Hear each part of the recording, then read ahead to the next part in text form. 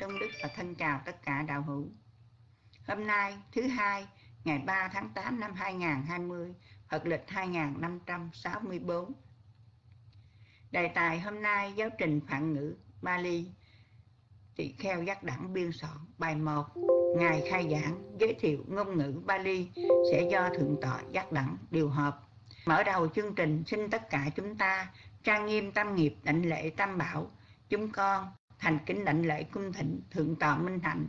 Từ bi hoan hỷ đọc kinh lễ bái tam bảo. Dạ con kính nhân mít đến sư.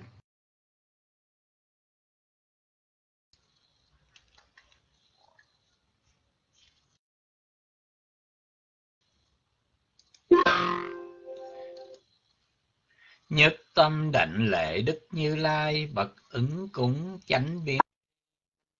Túc thiện thể, thế gian dạy vô thượng điều ngự thiên nhân sư Phật Thế Tôn.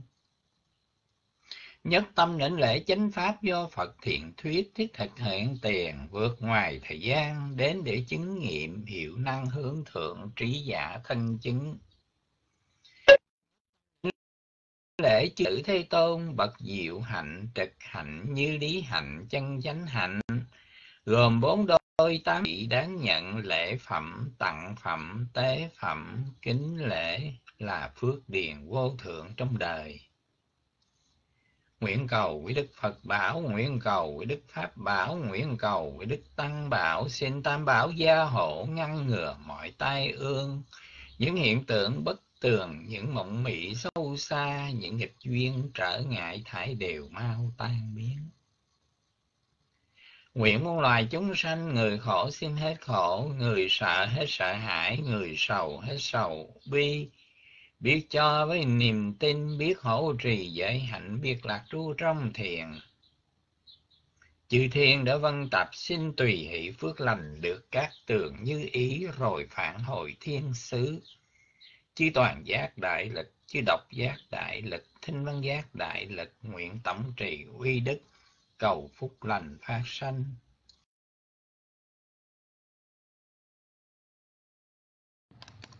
Sa thú lành thai chúng con thành kính lãnh lễ tri ân thượng tọa minh hạnh đã từ bi hoan hỷ đọc kinh lễ bái tam bảo năm một bích hà giá con thành kính lãnh lễ ngày tỷ siêu cùng chư tôn đức Nhật Quỳnh kính lễ quý bà, quý cô tu nữ.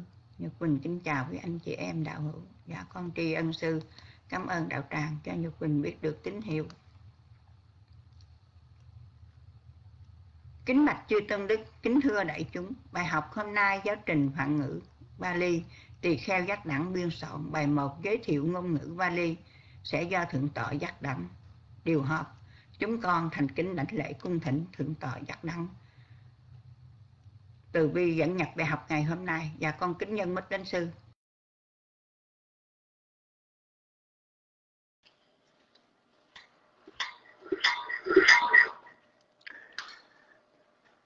Nam mô Bụt Thầy, dạ, kính lễ chư tổ tự sư, lễ chư tôn đức trân chào tất cả quý Phật tử. À, thưa vị, à, hôm nay là một ngày à, đặc biệt của Phật Pháp Bút Trâm Mà chúng ta khai giảng một uh, môn học mới. Và trước kia thì thật ra có nhiều lần đã có bàn đến môn học này nhưng mà vì ờ, lý do kỹ thuật ờ, không cho phép chúng ta đã không có mạnh dạng để bắt tay vào. Đó là học phản ngữ Pali ờ, trước hết nhất, hết là ở trong mùa dịch bệnh, ở trong lúc tất cả mọi người đều có nhiều cái bận rộn, chi phối bởi một cái thực tại là dịch bệnh đang làm thay đổi toàn bộ cuộc sống của chúng ta. Nhưng mà thưa quý vị, các nhà ờ, tâm lý ờ, khuyên chúng ta nên là thay vì ngồi đó để mà lo âu buồn bã thì chúng ta có những việc ờ, nên làm. Một ở trong những vị nên làm họ khuyên là nên được lợi dụng thời gian này để học thêm một sinh ngữ có thật là chúng ta đang làm một việc mà có lợi lạc về nhiều phương diện. Ở trong đó về mặt tinh thần à, nhưng mà rồi lại cộng thêm là có một cái giá trị đặc biệt đối với sự tu học. Hôm nay thưa quý vị ờ, trong ngày khai giảng chúng ta không có bài học mà thay vào đó ờ, chúng tôi và thượng tọa Từ Siêu sẽ cùng nhau để đề cập đến một số vấn đề, một số điểm chung quanh phản ngữ Pali. Ở thứ nhất, chúng tôi sẽ nói về ngôn ngữ Pali là gì. Và sau đó thì sẽ cùng chỉnh từ đầu Từ Siêu à, nói về tại sao chúng ta nên học tiếng Pali. Và rồi sau lời từ đầu Từ Siêu chúng tôi sẽ trở lại để nói về giáo trình học Ờ, uh, Pali ở trong rung Phật pháp Phật Dhamma. Chúng tôi cũng sẽ trở lại sau lời thiền tọa tuệ siêu, à, thiền tọa tuệ siêu cũng sẽ trở lại để thiền tọa chia sẻ về những cái dễ và những cái khó trong việc học tiếng Phạn. Thưa vị, Pali không phải là tên của một ngôn ngữ mà Pali có nghĩa là điển ngữ hay là ngôn ngữ chép kinh thật ra thì ờ, chúng ta thường gọi cái tiếng của Ấn Độ gọi là tiếng Phạn. Tiếng Phạn từ chữ Brahmi Brahmi đúng ra chúng ta nói là tiếng Phạm Phạm ngữ hơn là Phạn ngữ. Giống như chúng ta nói Phạm Thiên Phạm Chí. Nhưng mà vì tại lâu ngày chúng ta đọc là Phạn ngữ. Thì quý vị tiếng Brahmi uh, ờ, là một cái hệ ngôn ngữ gọi là mẹ của tất cả tiếng ngôn ngữ. Ngày hôm nay các nhà ngôn ngữ học gọi là cái hệ ấn âu. Lấy ví dụ là có rất nhiều từ vựng ở trong uh, tiếng phạn ở trong mà quý vị tìm thấy ở trong anh ngữ ở trong tiếng lahi ví dụ chữ uh, chữ đanh tá là răng thì ở trong tiếng anh gọi là dental yeah dạ uh, duo là hai. Duo duo ờ, uh, dị biên và dualism cũng là một cái một cái tiếng rất là phổ thông một trong tiếng Anh mà chúng ta thường nghe. Thì thưa quý vị uh, khi mà nói tiếng ngôn ngữ Ấn Âu thì chúng ta được biết đến là tiếng Sanskrit. Sanskrit được xem là một cái ngôn ngữ uh, được dùng ở trong cái kinh điển Phệ Đà. Cộng bộ tam Phệ Đà của Bà La Môn giáo được viết bằng uh, được viết bằng tiếng Sanskrit. Thật ra thì uh, ở tại Việt Nam á, chúng ta hay có một cái nhầm lẫn uh, chúng ta gọi tiếng Sanskrit là Bắc Phạn và Pali là Nam Phạn khiến cho nhiều người nghĩ rằng đó là một ngôn ngữ phía Bắc ngôn ngữ phía Nam. Vì thật thì uh, ngôn ngữ là cái gì rất là sinh động. Khi người ta gọi là ngôn ngữ là cái gì mà nó đi theo dòng thời gian.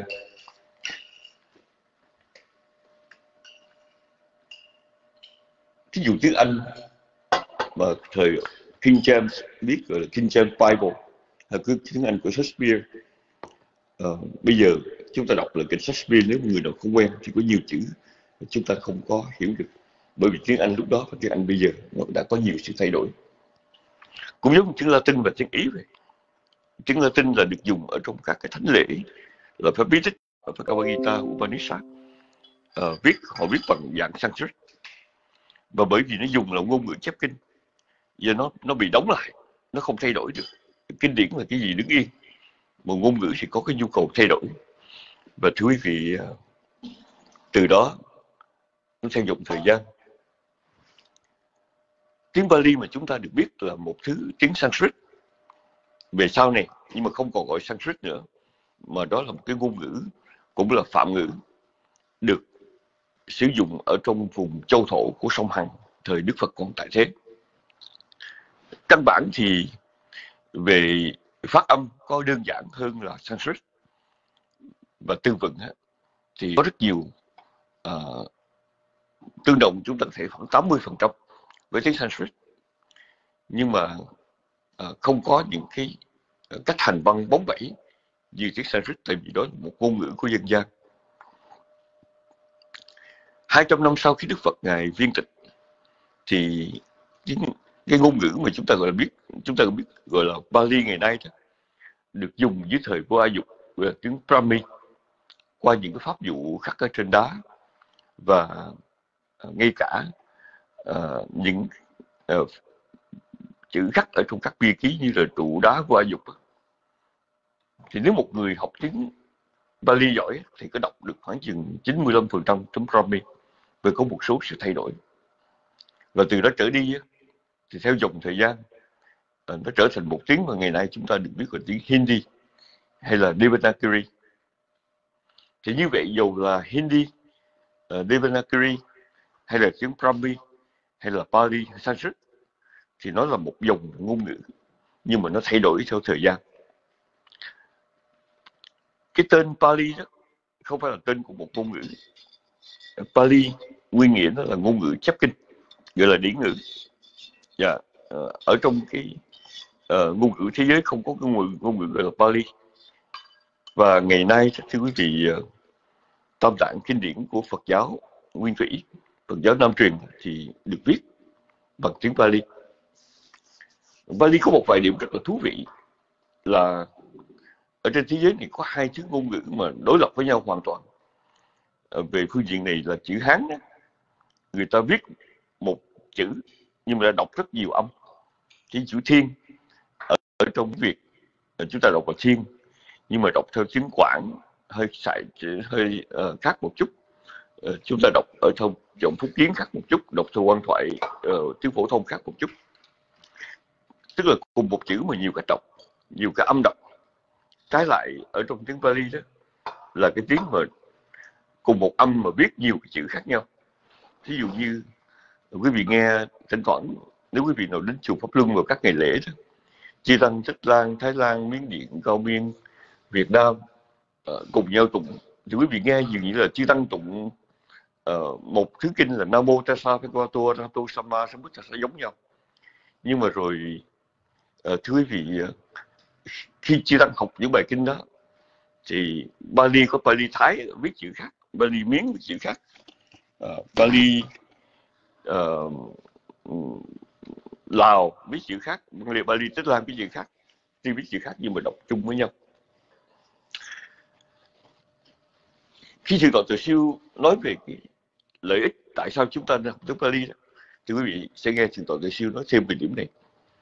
Nhưng mà Bali đã trở thành một cái chuẩn mực cho cái việc uh, học kinh điển nghiên cứu kinh điển Phật giáo. Và đặc biệt ở trong tiếng Bali đó, là một ngôn ngữ tuy là gọi là cổ ngữ nhưng mà đó là một ngôn ngữ mà về phương diện văn phạm ngữ pháp rất là chuẩn mực. Một ngôn ngữ mặc dù chúng ta được biết đến là cực thịnh cách đây 2.600 năm ở trong châu thổ sông Hằng. Nhưng mà về phương diện ngữ pháp thì thực sự đặc biệt rất là tinh tế. À, cho dù từ cách chia danh từ cách chia động từ ờ, chia theo số ít số nhiều nam tính nữ tính uh, chia theo ngôi uh, của động từ chia theo thời gian vân vân. Uh, là một cái hệ ngôn ngữ. Hôm nay là một hệ ngôn ngữ hoàn chỉnh. Ở trong ngôn ngữ thì không có gọi là hoàn chỉnh được. Nhưng mà thưa quý vị ờ, tiếng Pali đã cho thấy rằng có một cái ngữ pháp một trình độ một cái văn phạm rất là tinh tế. Và vì là học phản ngữ sẽ thấy được điều đó. Thì như vậy chúng ta hỏi tiếng Pali là gì? Thì lý thuyết trong định nghĩa tiếng Bali, Bali là tiếng Ấn à, được phổ biến thời Đức Thế Tôn còn tại thế ở trong châu thổ sông Hằng. Ờ, trước kia, ở trong thời kỳ rất xa xưa, thì tiếng nó gọi là tiếng Sanskrit. Và sau này thì trở thành tiếng Brahmi, ngày nay trở thành tiếng Hindi, tiếng Devati. Nhưng mà rồi nó cũng là một dòng ngôn ngữ Thưa quý vị, ờ, chúng tôi trở lại nói một điều trước khi tỉnh truyền tàu tự siêu để nói lễ tiếng Pali là người ta thường nói Sanskrit là Bắc Phạn, Bali là Nam Phạn. Kỳ thật thì đó là cách nói ở ngoài Ấn Độ. ở trong Ấn Độ thì nói Bắc Phạn Nam Phạn người ta không biết là gì nhưng mà bởi vì Phật giáo Bắc truyền ấy, từ đời vua Ca Nị Sắc à, tức là sau cuộc tập tâm tạng lần thứ ba được khoảng chừng 200 năm thì vua Ca Sắc là vua đã bảo trợ cho các vị tăng sĩ để chuyển ngữ uh, tiếng Pali sang tiếng Sanskrit. Và do đó Phật giáo Bắc truyền được uh, hưng khởi vào thế kỷ thứ nhất. Nên chi sau này kinh điển Phật giáo Bắc truyền thường dùng cái ngôn ngữ Sanskrit do đó gọi là Bắc phạn. Và Phật giáo Theravada vì sao này được gọi là Nam Tông và vì vậy được gọi là Nam phạn. Nhưng cách gọi này là cái gọi thuần về phương diện Ờ, tôn giáo với diện lịch sử hơn là thực tế. Thực tế thì ngôn ngữ không có Nam không có Bắc.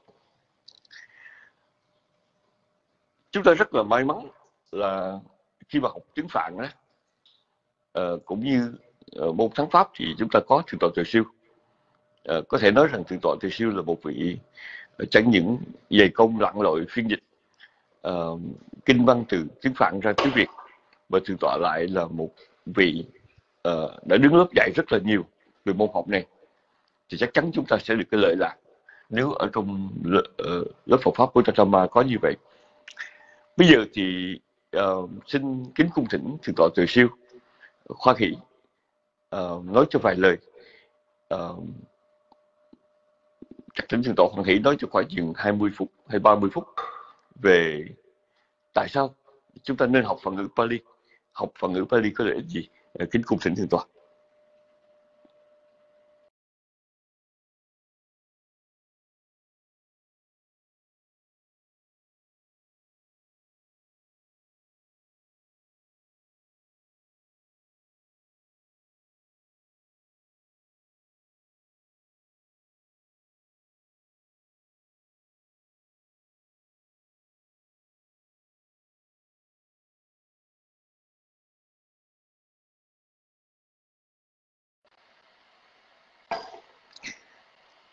thì thượng thời Siêu không biết thượng tọa có ở trước máy và thì tọa có nghe được không? Nếu thì tọa thời Siêu nghe được xin thượng tọa hoan hỷ cho biết.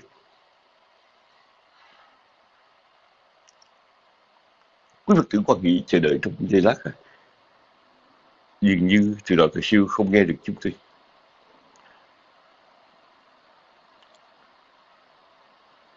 Một lần nữa xin được hỏi thì tọa thời Siêu, thượng tọa có trước máy và có nghe được không?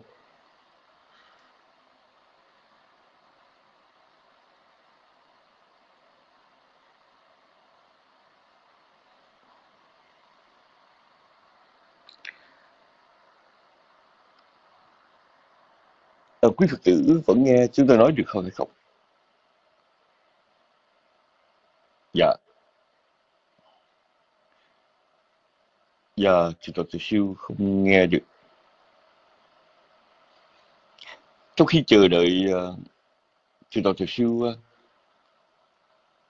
điều chỉnh về kỹ thuật thì chúng tôi xin được uh, chia sẻ với quý vị một điều rằng một lý do mà trước kia Ờ, chúng tôi tương đối là hơi ngại uh, để đưa lớp phản ngữ vào trong giáo trình giảng dạy của Trung Phật Pháp Buddha Dhamma bởi vì uh, có hai lý do. Uh, lý do thứ nhất là dạy phản ngữ mà nếu chúng ta không có viết được cái tiếng Pali chính xác, chúng ta không đánh máy được chính xác lên trên PowerTalk thì thưa quý vị nó là một trở ngại chúng rất hiểu lòng.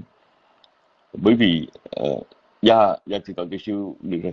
Bây giờ xin thấy bạn đại chúng cái tính thiên tọa thì siêu khoan hỷ uh, chia sẻ khoảng chừng 30 phút là tại sao chúng ta nên học tiếng Bali hay nói một cách khác tiếng Bali có lợi ích gì? Kính cùng thỉnh thượng tọa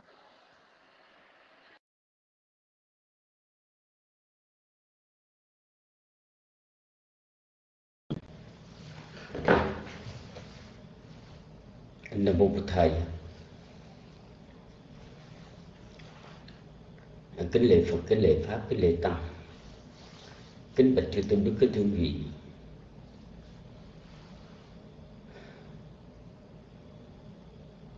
Lẽ ra trong cái ngày à, khai giảng về cái giáo trình à, phản ngữ Bali chúng tôi cũng rất muốn theo sát những cái điều mà thượng tọa dính đẳng chia sẻ về Bali là ngôn là ngôn ngữ gì. Rồi tới phiên chúng tôi sẽ trình bày tại sao nên học tiếng Bali. Thế nhưng trong nhiều ngày qua. Không biết là do ảnh hưởng mưa bão hay là ảnh hưởng à, dịch bệnh corona mà cái đường nét của chúng tôi nó suy yếu. Cho nên nghe tiếng được tiếng mất khi được khi không.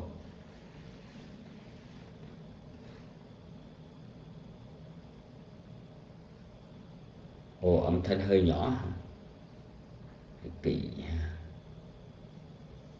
âm thanh hơi nhỏ.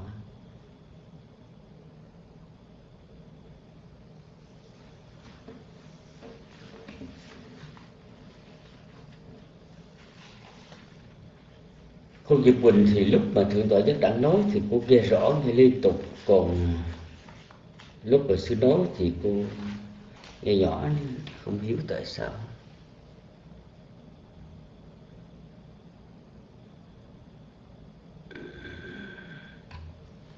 Dạ.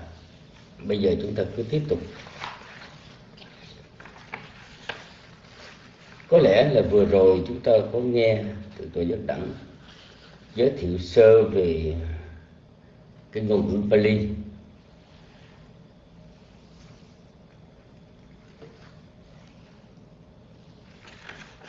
thì chúng ta thấy đó, cái ngôn ngữ Bali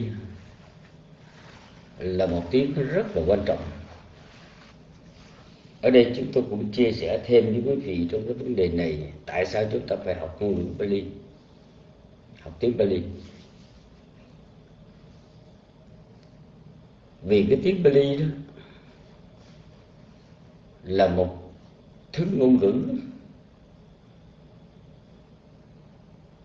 mà xưa kia Đức Phật đã dùng ngôn ngữ đó để ngài thuyết pháp, ngài truyền đạt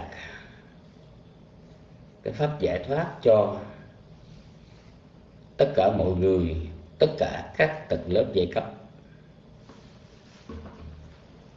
Vì cái ngôn ngữ Sanskrit hay là cái ngôn ngữ chúng ta gọi là bắc phạn à, ngôn ngữ của kinh Veda kinh Veda, cái ngôn ngữ đó chỉ dành cho cái giới quý tộc họ học thôi. Như là sát đế lị bà la môn, đặc biệt là người mà thuộc về giai cấp bà la môn, họ mới học cái ngôn ngữ Sanskrit đó. Vì kinh điển Veda của họ là bằng tiếng Sanskrit. Và nếu như người nào mà ở hai cái giai cấp thấp mà học về cái tiếng Sanskrit học cái tiếng, cái ngôn ngữ của vị đà vị đà thì lập tức là bị trừng phạt. Do đó, cái ngôn ngữ này dần dần là để dành cho người quý tộc. Người ở giai cấp cao mới học ở giai cấp thấp không học cho nên nếu mà đức phật ngài sử dụng cái ngôn ngữ đó, mà ngài thuyết pháp thì chỉ có cái giới thượng lưu ở trong xã hội thì họ mới nghe được. Còn những cái giới trung lưu và cái giới hạ lưu ở giai cấp nô lệ, vân vân, thì họ không có nghe được. Mà chúng sanh hữu duyên, giác ngộ thì có đủ trong bốn cái thành phần giai cấp của xã hội. Cho nên, đức phật này lấy cái ngôn ngữ sư ma kiệt đà, ma thát cái sư Ma Kiệt Đà, ma cái thác và thành phố nó là Rajagaha một, một cái trung tâm văn hóa và trung tâm kinh tế nằm ở phía nam ấn Makatha thuộc nam ấn. Và cái ngôn ngữ này à, là phổ thông cho các tầng lớp. Khi người ta đến người ta các cái thương nhân hay là người ở trong giai cấp sắc địa vị bà la môn gì đi ngang qua đây họ muốn mua bán cái gì đó. Thì họ đều phải sử dụng tiếng Makatha để mà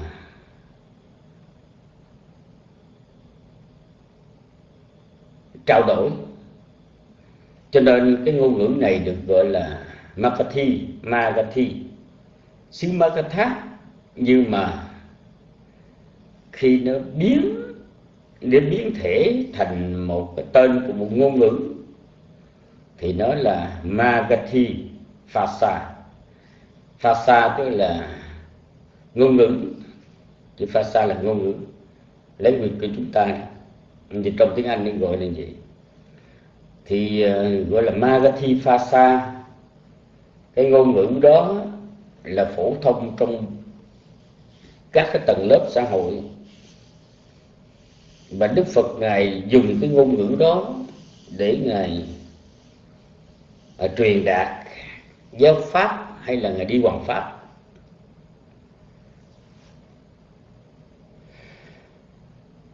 Và cái ngôn ngữ Makathi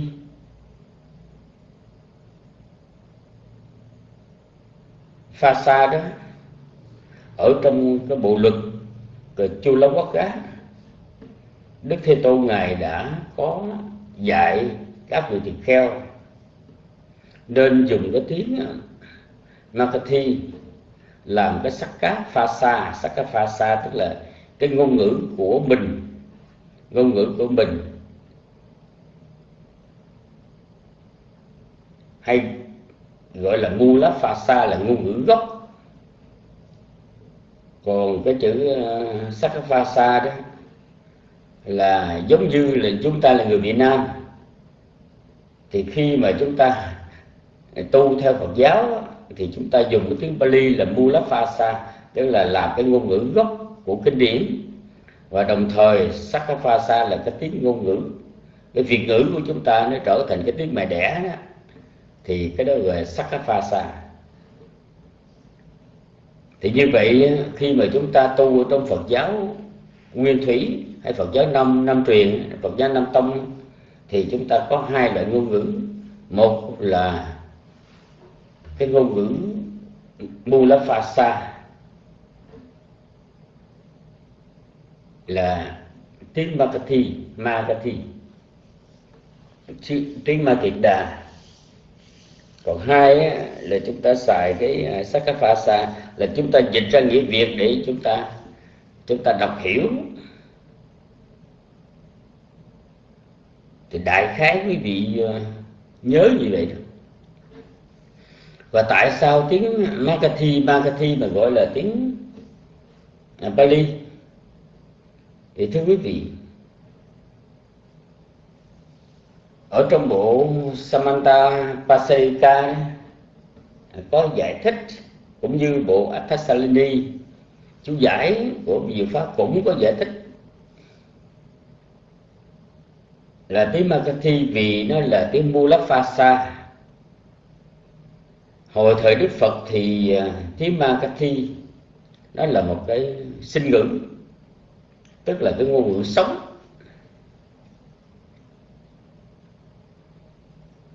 Và Đức Phật ngài dạy các tỳ kheo là nên sử dụng tiếng Magadhi để mà gìn giữ Phật ngôn chứ không có nên dùng tiếng Sanskrit. Bởi vì cái tiếng Makathi á,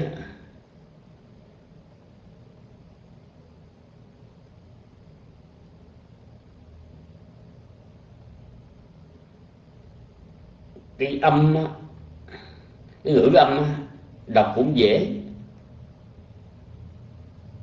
Mà về Vyakarna tức là về ngữ pháp ngữ pháp hay ngày xưa chúng ta gọi là văn phạm, grammar đó. Thì cái nghĩ, cái ngữ pháp, ngữ âm của tiếng Bali đều dễ hết so với tiếng Sanskrit. Lại thêm cái nữa là cái tiếng Marathi á, cái câu văn gãy gọn, sáng nghĩa chứ không có.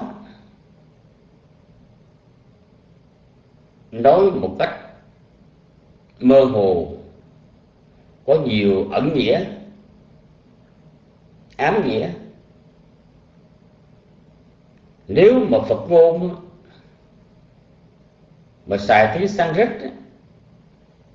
thì nó trở thành như là những cái cái bài chú thuật manta bởi vì chú thuật ẩn nghĩa lắm, thưa quý vị, gọi là mật mật chú. Và như vậy con người ta chỉ biết là đọc Phật côn như là tụng chú vậy thôi. Tụng chú thuật mà không có biết cái nghĩa để mà tu tập. Trong khi tiếng Bali đó, thì lời nói đơn giản, khúc chiết. Ý nghĩa mạch lạc rõ ràng. Cho nên đức phật ngài dạy phải sử dụng cái tiếng marketing rồi khi mà kết tập tâm tạng đó, thì chư vị a la hán ngài cũng theo lời của đức phật dạy, các ngài cũng dùng cái marketing mặc dù có rất nhiều vị tôn giả có nhiều vị thinh văn a la hán đệ tử phật xuất thân từ bà la môn nhưng mà các ngài vẫn sử dụng tiếng Makati để truyền đạt Phật ngôn. Và do đó cho nên những kỳ kết tập, tâm tạng sau thời Đức Phật, nhất là kỳ kỳ à, tâm tạng thứ nhất năm 500 vị A La Hán cũng sử dụng tiếng Makati để mà kết tập tâm tạng kết tập kinh điển. Và khi mà kết tập kinh điển, lần thứ nhất, lần thứ hai và lần thứ ba tại ấn độ, lần thứ nhất là ở tại makatha tại makatha ma kiệt đà nơi xuất phát cái ngôn ngữ makathi lần thứ hai ở tại Vesali lần thứ ba ở tại Pataliputta.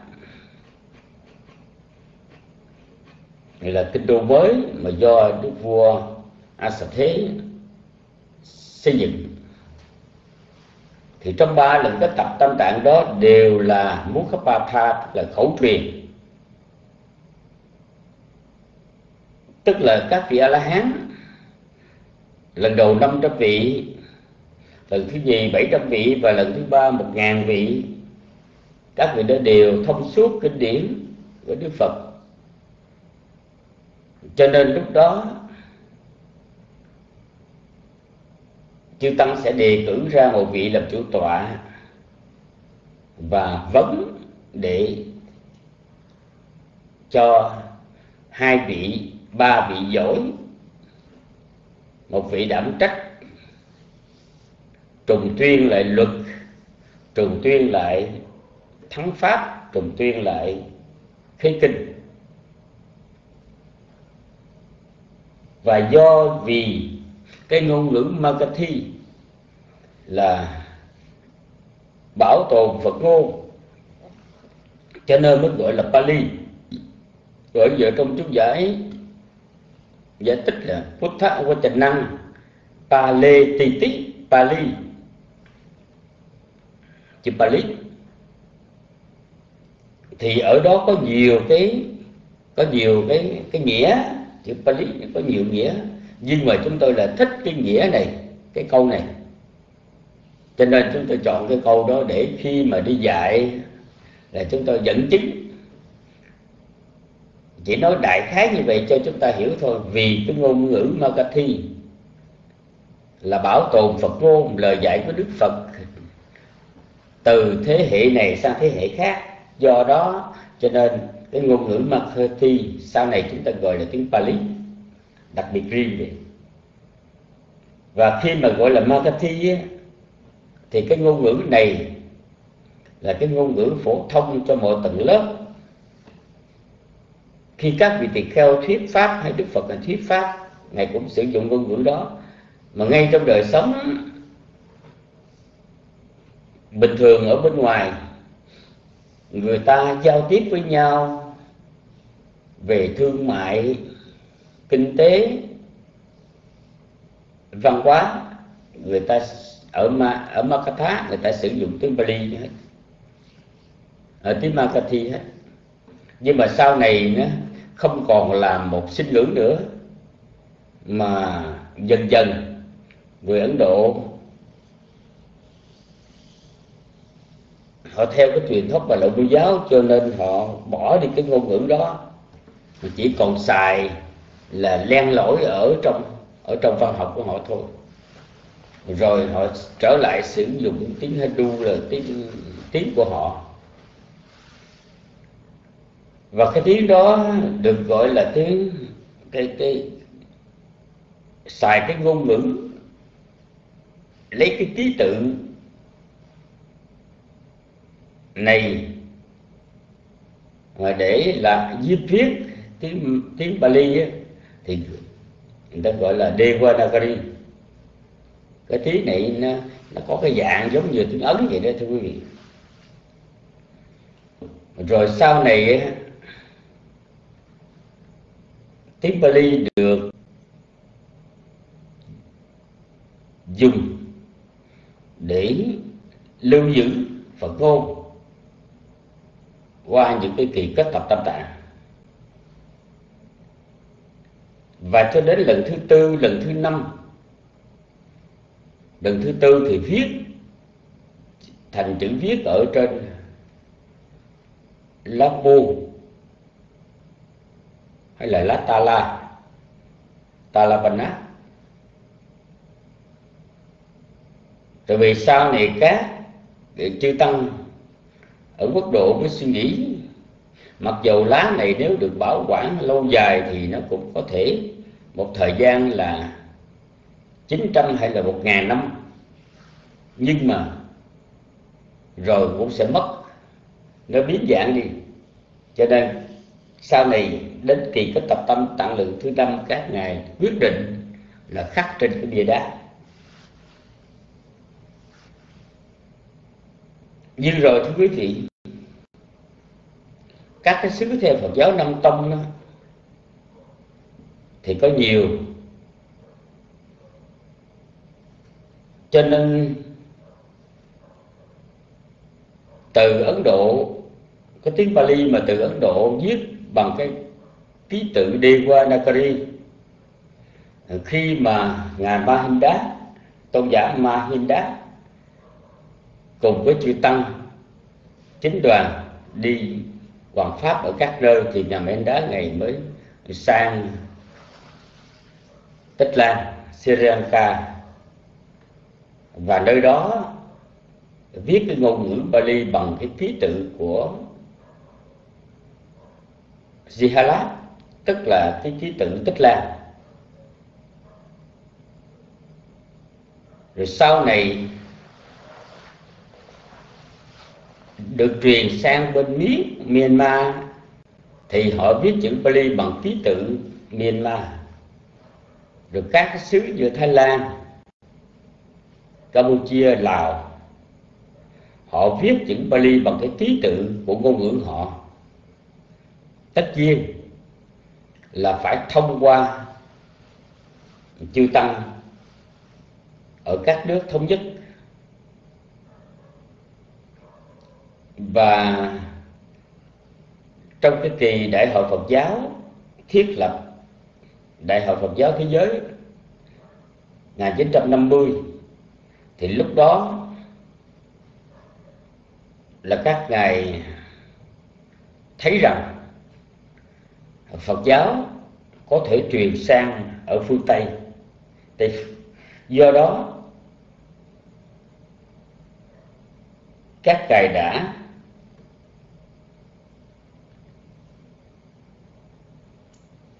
lập. Cái văn tự Pali bằng cái tiếng Roman, tức là tiếng Latin alphabet. Thành thử tưởng ra bây giờ, chúng ta là người Việt Nam. Cái ngôn ngữ chúng ta không còn là chữ Hán, không còn là chữ Nôm. Viết theo bộ nữa, như thổi xưa, thời các vị vua chúa, thời phong kiến, mà bắt đầu từ hồi thời Pháp. Từ hồi thời Pháp cái ngôn ngữ Việt Nam chúng ta đã cải biên lại theo cái mẫu từ alphabet. ABC, GD bắt đầu từ đó chữ viết của chúng ta ở cái vùng Đông Nam Á là khác hơn cái chữ viết của các nước lân cận như là Lào hay Campuchia hay Thái Lan. Lào, Campuchia, Thái Lan thì cái chữ viết của họ vẫn là cái mẫu tự riêng của họ. Nhưng mà người Việt Nam của chúng ta thì cái mẫu tự viết viết văn bản á, thì chúng ta viết bằng bằng cái chữ alphabet thôi. Và do đó chúng ta rất dễ dàng để mà chúng ta tiếp cận với cái ngôn ngữ Bali bằng tiếng Latin. Và tại sao chúng ta phải, chúng ta nên học tiếng Bali như chúng tôi đã trình bày với quý vị đó, là vì cái ngôn ngữ Bali nó trở thành một loại cổ ngữ mà bảo tồn Phật ngôn. Do đó, cho nên chúng ta học tiếng Bali có nghĩa là chúng ta học được Phật ngôn gốc. Hòa thượng Minh Châu, khi mà ngài khuyến khích đang đi sinh Việt Nam, Phật tử Việt Nam nên học tiếng Bali để xem kinh điển Bali đó là uống nước tận nguồn. Thế thì bây giờ quý vị Phật tử chúng ta mới hỏi rằng, thời Đức Phật tiếng Makathi tiếng Pali bằng cái mẫu tự Devanagari, giống như mẫu tự ấn bây giờ. Nhưng mà bây giờ tiếng Pali như vậy thì chúng ta khó làm sao mà nguyên thủy, Phật ngôn nguyên thủy được. Nhưng mà thưa quý vị, ở đây có những những vấn đề mà chúng ta cần phải biết. Tiếng Pali đặc biệt là được viết bằng ít nhất là bằng bảy loại bảy hình thức ký tự. Ký tự Ấn Độ ký tự Ấn ký tự Tích Tích Lan ký tự Brahma. Brahma tức là, là, là Mỹ Điện rồi ký tự Thái Lan mẫu tự ờ, Lào ờ, Campuchia. Rồi ờ, mẫu tự của alphabet, mẫu tự Latin. Mặc dù viết có nhiều cái mẫu tự khác nhau, nhưng đặc biệt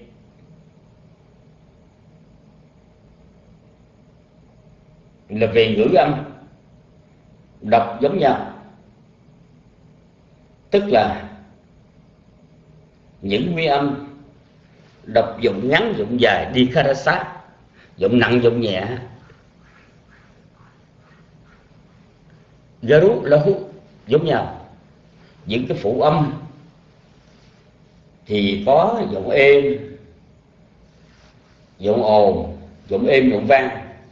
Khô xạ khô xạ giọng lơi lá dụng nhấn thanita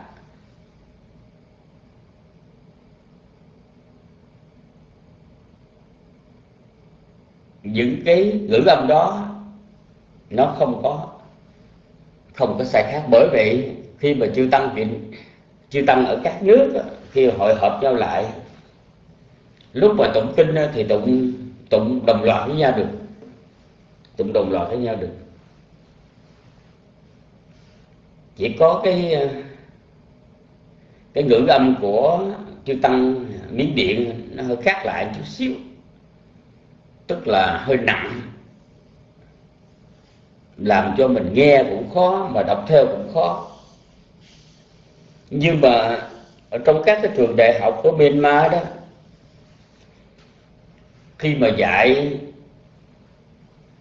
về tiếng Bali mà Bali ờ, của quốc tế, thì các vị sử dụng cái bộ sách gọi là cái chai cái chai cha chana sách văn phạm cái chai cha chana sách Niti thì cái bộ đó viết bằng cái chữ Latin. Thì giống y chang, nó không có gì khó. Cái về cái ngữ âm đọc cái giống giống y bởi vậy khi mà chúng tôi gặp các cái vị sư, người miến đó những vị nào mà dạy ở trong trường lớp, ở trường đại học à, Phật giáo Theravada quốc tế, thì các vị đó nói tiếng Bali rành lắm, thưa quý vị. Nói tiếng Bali rõ ràng lắm. Cho nên trao đổi nhau rất là dễ.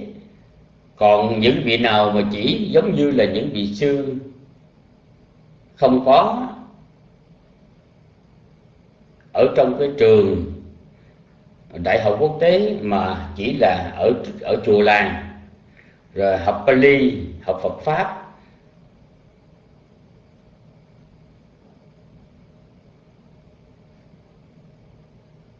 Dhammacharya tức là chỉ học thuần về ờ, cái tiếng Pali miếng Điện thì các vị đó mới nói, nói chuyện khó nghe. Còn hãy đi qua Tích Lan hay qua Thái Lan thì thưa quý vị chúng ta nghe tiếng Bali không phải là là khó. Đó là về ngữ âm. Còn còn về ngữ pháp á, thì thưa quý vị dầu cho cái ngôn ngữ cái ký tự cái mẫu tự cái ký tự viết có khác nhau nhưng mà trên phương diện Vajratara Bali tức là văn phạm Bali thì đều giống nhau cả. Thống nhất với nhau hết. Chúng tôi ờ, sống chung với chư tăng Khmer thời thổ xưa mà các vị cha, các vị lô cha giỏi Bali đó, thì các vị đó khi mà trao đổi về cái văn phạm Bali thì cũng giống vậy thôi giống vậy thôi. Các vị ở trà, ở trà vinh hay ở sóc trăng các vị giỏi Bali đó thì khi mà lên ờ, chùa sư lý mà trao đổi để mà học các vị học Bali Latin với chúng tôi thì lúc mà trao đổi thì các vị trao đổi giống nhau hết. Vì ngữ pháp. Cho nên nó tóm lại là cái chữ viết Bali nó có nhiều ký tự của các quốc độ khác nhau. Nhưng mà về ngữ âm tương đối là giống nhau. Và về ngữ pháp thì đồng nhất.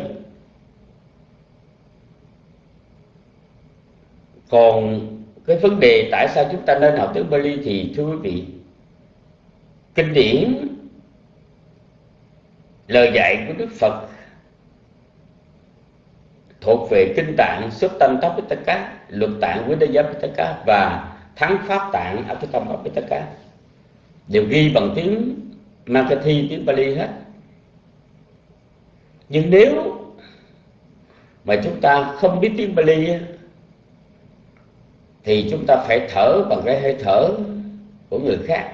Tức là các vị dịch giả, khi mà họ dịch ra, tất nhiên là họ dịch cũng tương đối là sát nghĩa, nhưng mà có những vị họ dịch thoát văn, thì chúng ta thọ trì những cái bài kinh mà do các vị dịch thoát văn như vậy đó, thì làm cho chúng ta mất dấu.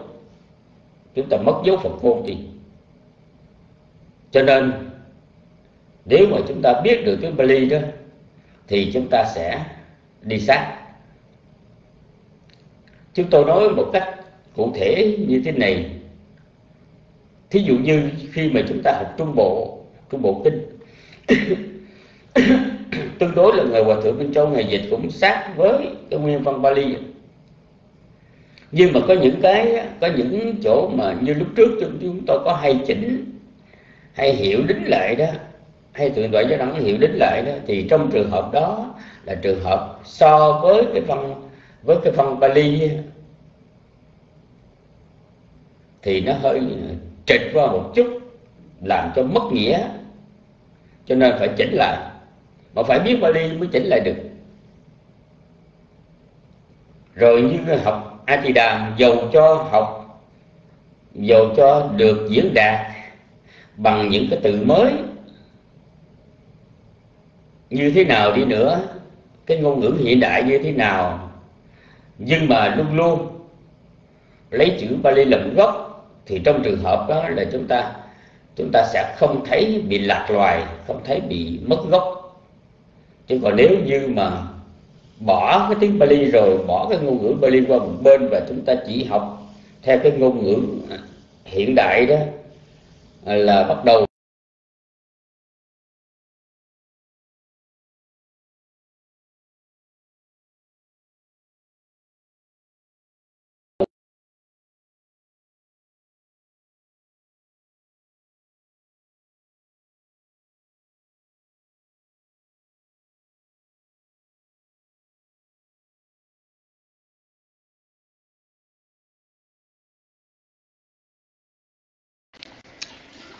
Sư Minh Hoa Hỷ sao là biết ở trong rung không còn nghe được nữa. Xin uh, dạ xin thỉnh thì tội sư Hoa Hỷ uh, biết rồi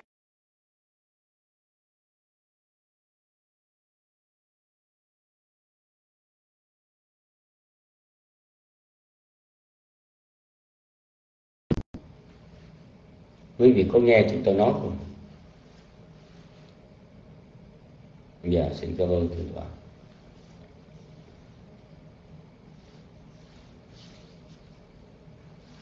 Thì do đó khi mà chúng ta học tiếng Bali là chúng ta học kinh điển, uống nước tận nguồn, cách tốt của hòa thượng thế bên châu như vậy.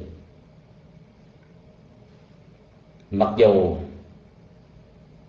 nó sẽ có một cái chút khó, nhưng mà cái khó, cái dễ chút xíu nữa đây, trong cái phần sau sau khi từ tội giới đẳng trình bày về giáo trình phận ngữ Bali lúc đó chúng tôi sẽ tiếp tục để trình bày thêm cho quý vị về cái khó, những điều khó và những dễ khi mà học tiếng phản Bali và bây giờ thì ờ, xin được cung thỉnh thượng tọa giáo đẳng trở lại để trình bày một giáo trình học phản ngữ Bali trong lớp Phật pháp Buddha xin kính thỉnh thượng tọa nam mô bổn thầy.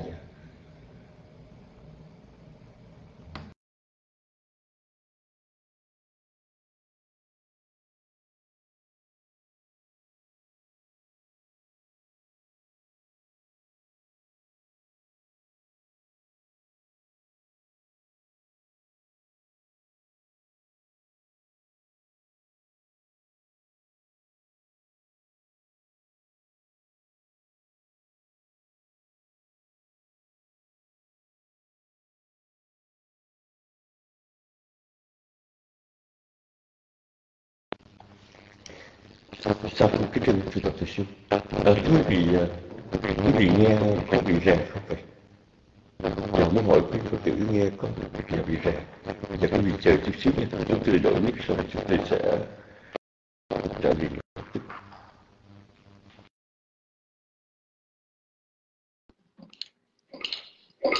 Dạ xin hỏi bây giờ quý vị nghe có được không? Dạ quý vị nghe có được không? Dạ. Dạ kính chân thượng tọa từ siêu thưa quý vị à, qua những lời thượng tọa thiền sư và có lẽ trong suốt giáo trình này khi mà thượng tọa thiền sư giảng giải về uh, môn uh, phản ngữ Pali thì chúng ta cũng sẽ nghe nhiều điều thú vị khác về tại sao chúng ta học tiếng Pali. Thì bây giờ chúng tôi xin tiếp lời thượng tọa thiền sư với phần giáo trình. Uh, nó có hai cách học ngôn ngữ. Một là chúng ta học theo cái cách căn bản uh, tức là học về văn phạm hay là ngữ pháp? Hay là chúng ta học theo cách thực dụng tức là học ra để xài chứ không phải là uh, chúng ta cần đến một cái kiến thức nhiều về văn phạm? Giáo trình mà chúng ta đang học ở đây là một giáo trình dung hòa cả hai là về phương diện ngữ pháp cũng như trên phương diện thực dụng. Thứ nhất là nói về phương diện thực dụng đó là chúng ta sẽ học theo một cách mà không phải là mới đây mà trong truyền thống cũng đã có từ xưa. Đó là chúng ta sử dụng những bản kinh những câu Phật ngôn. Để từ đó chúng ta vừa học Phật ngôn mà chúng ta vừa học được cái uh, nghĩa văn tức là chúng ta học về chánh kinh uh, chánh văn và cái ý nghĩa của từng chữ. Lấy ví dụ như là uh, chúng tôi chia ra làm bốn phần. Phần đầu là chúng ta sẽ học về các cái bản kinh tụng. Và yeah, bản kinh tụng như ân đức Phật ân đức Pháp ân đức Tăng những bài kinh niệm tâm từ uh, những bài những câu Phật ngôn thường được tụng kinh hồi hướng vân vân. Thì riêng về phần kinh tụng thì mất khoảng 15 bài do bản kinh tụng. Và thưa quý vị 15 bài sau đó thì chúng tôi sẽ lựa chọn một số những câu Phật ngôn ở trong kinh pháp cú mà quen thuộc và rất là quen thuộc. Ví dụ chúng ta học câu Manu Pankama Thamma Manu Sattha Manu Maya tâm dẫn đầu các pháp tâm làm chủ tâm tạo tác hay là hận thù diệt hận thù đời này không thể có từ bi diệt hận thù để được thiên thu. Những câu Phật ngôn quen thuộc như vậy đó thì chúng ta sẽ học và chúng ta uh, sẽ đi vào không phải chỉ ý nghĩa mà trên phương diện văn phạm qua cái phần thứ ba đó thì chúng tôi sẽ trích một số các đoạn kinh dài.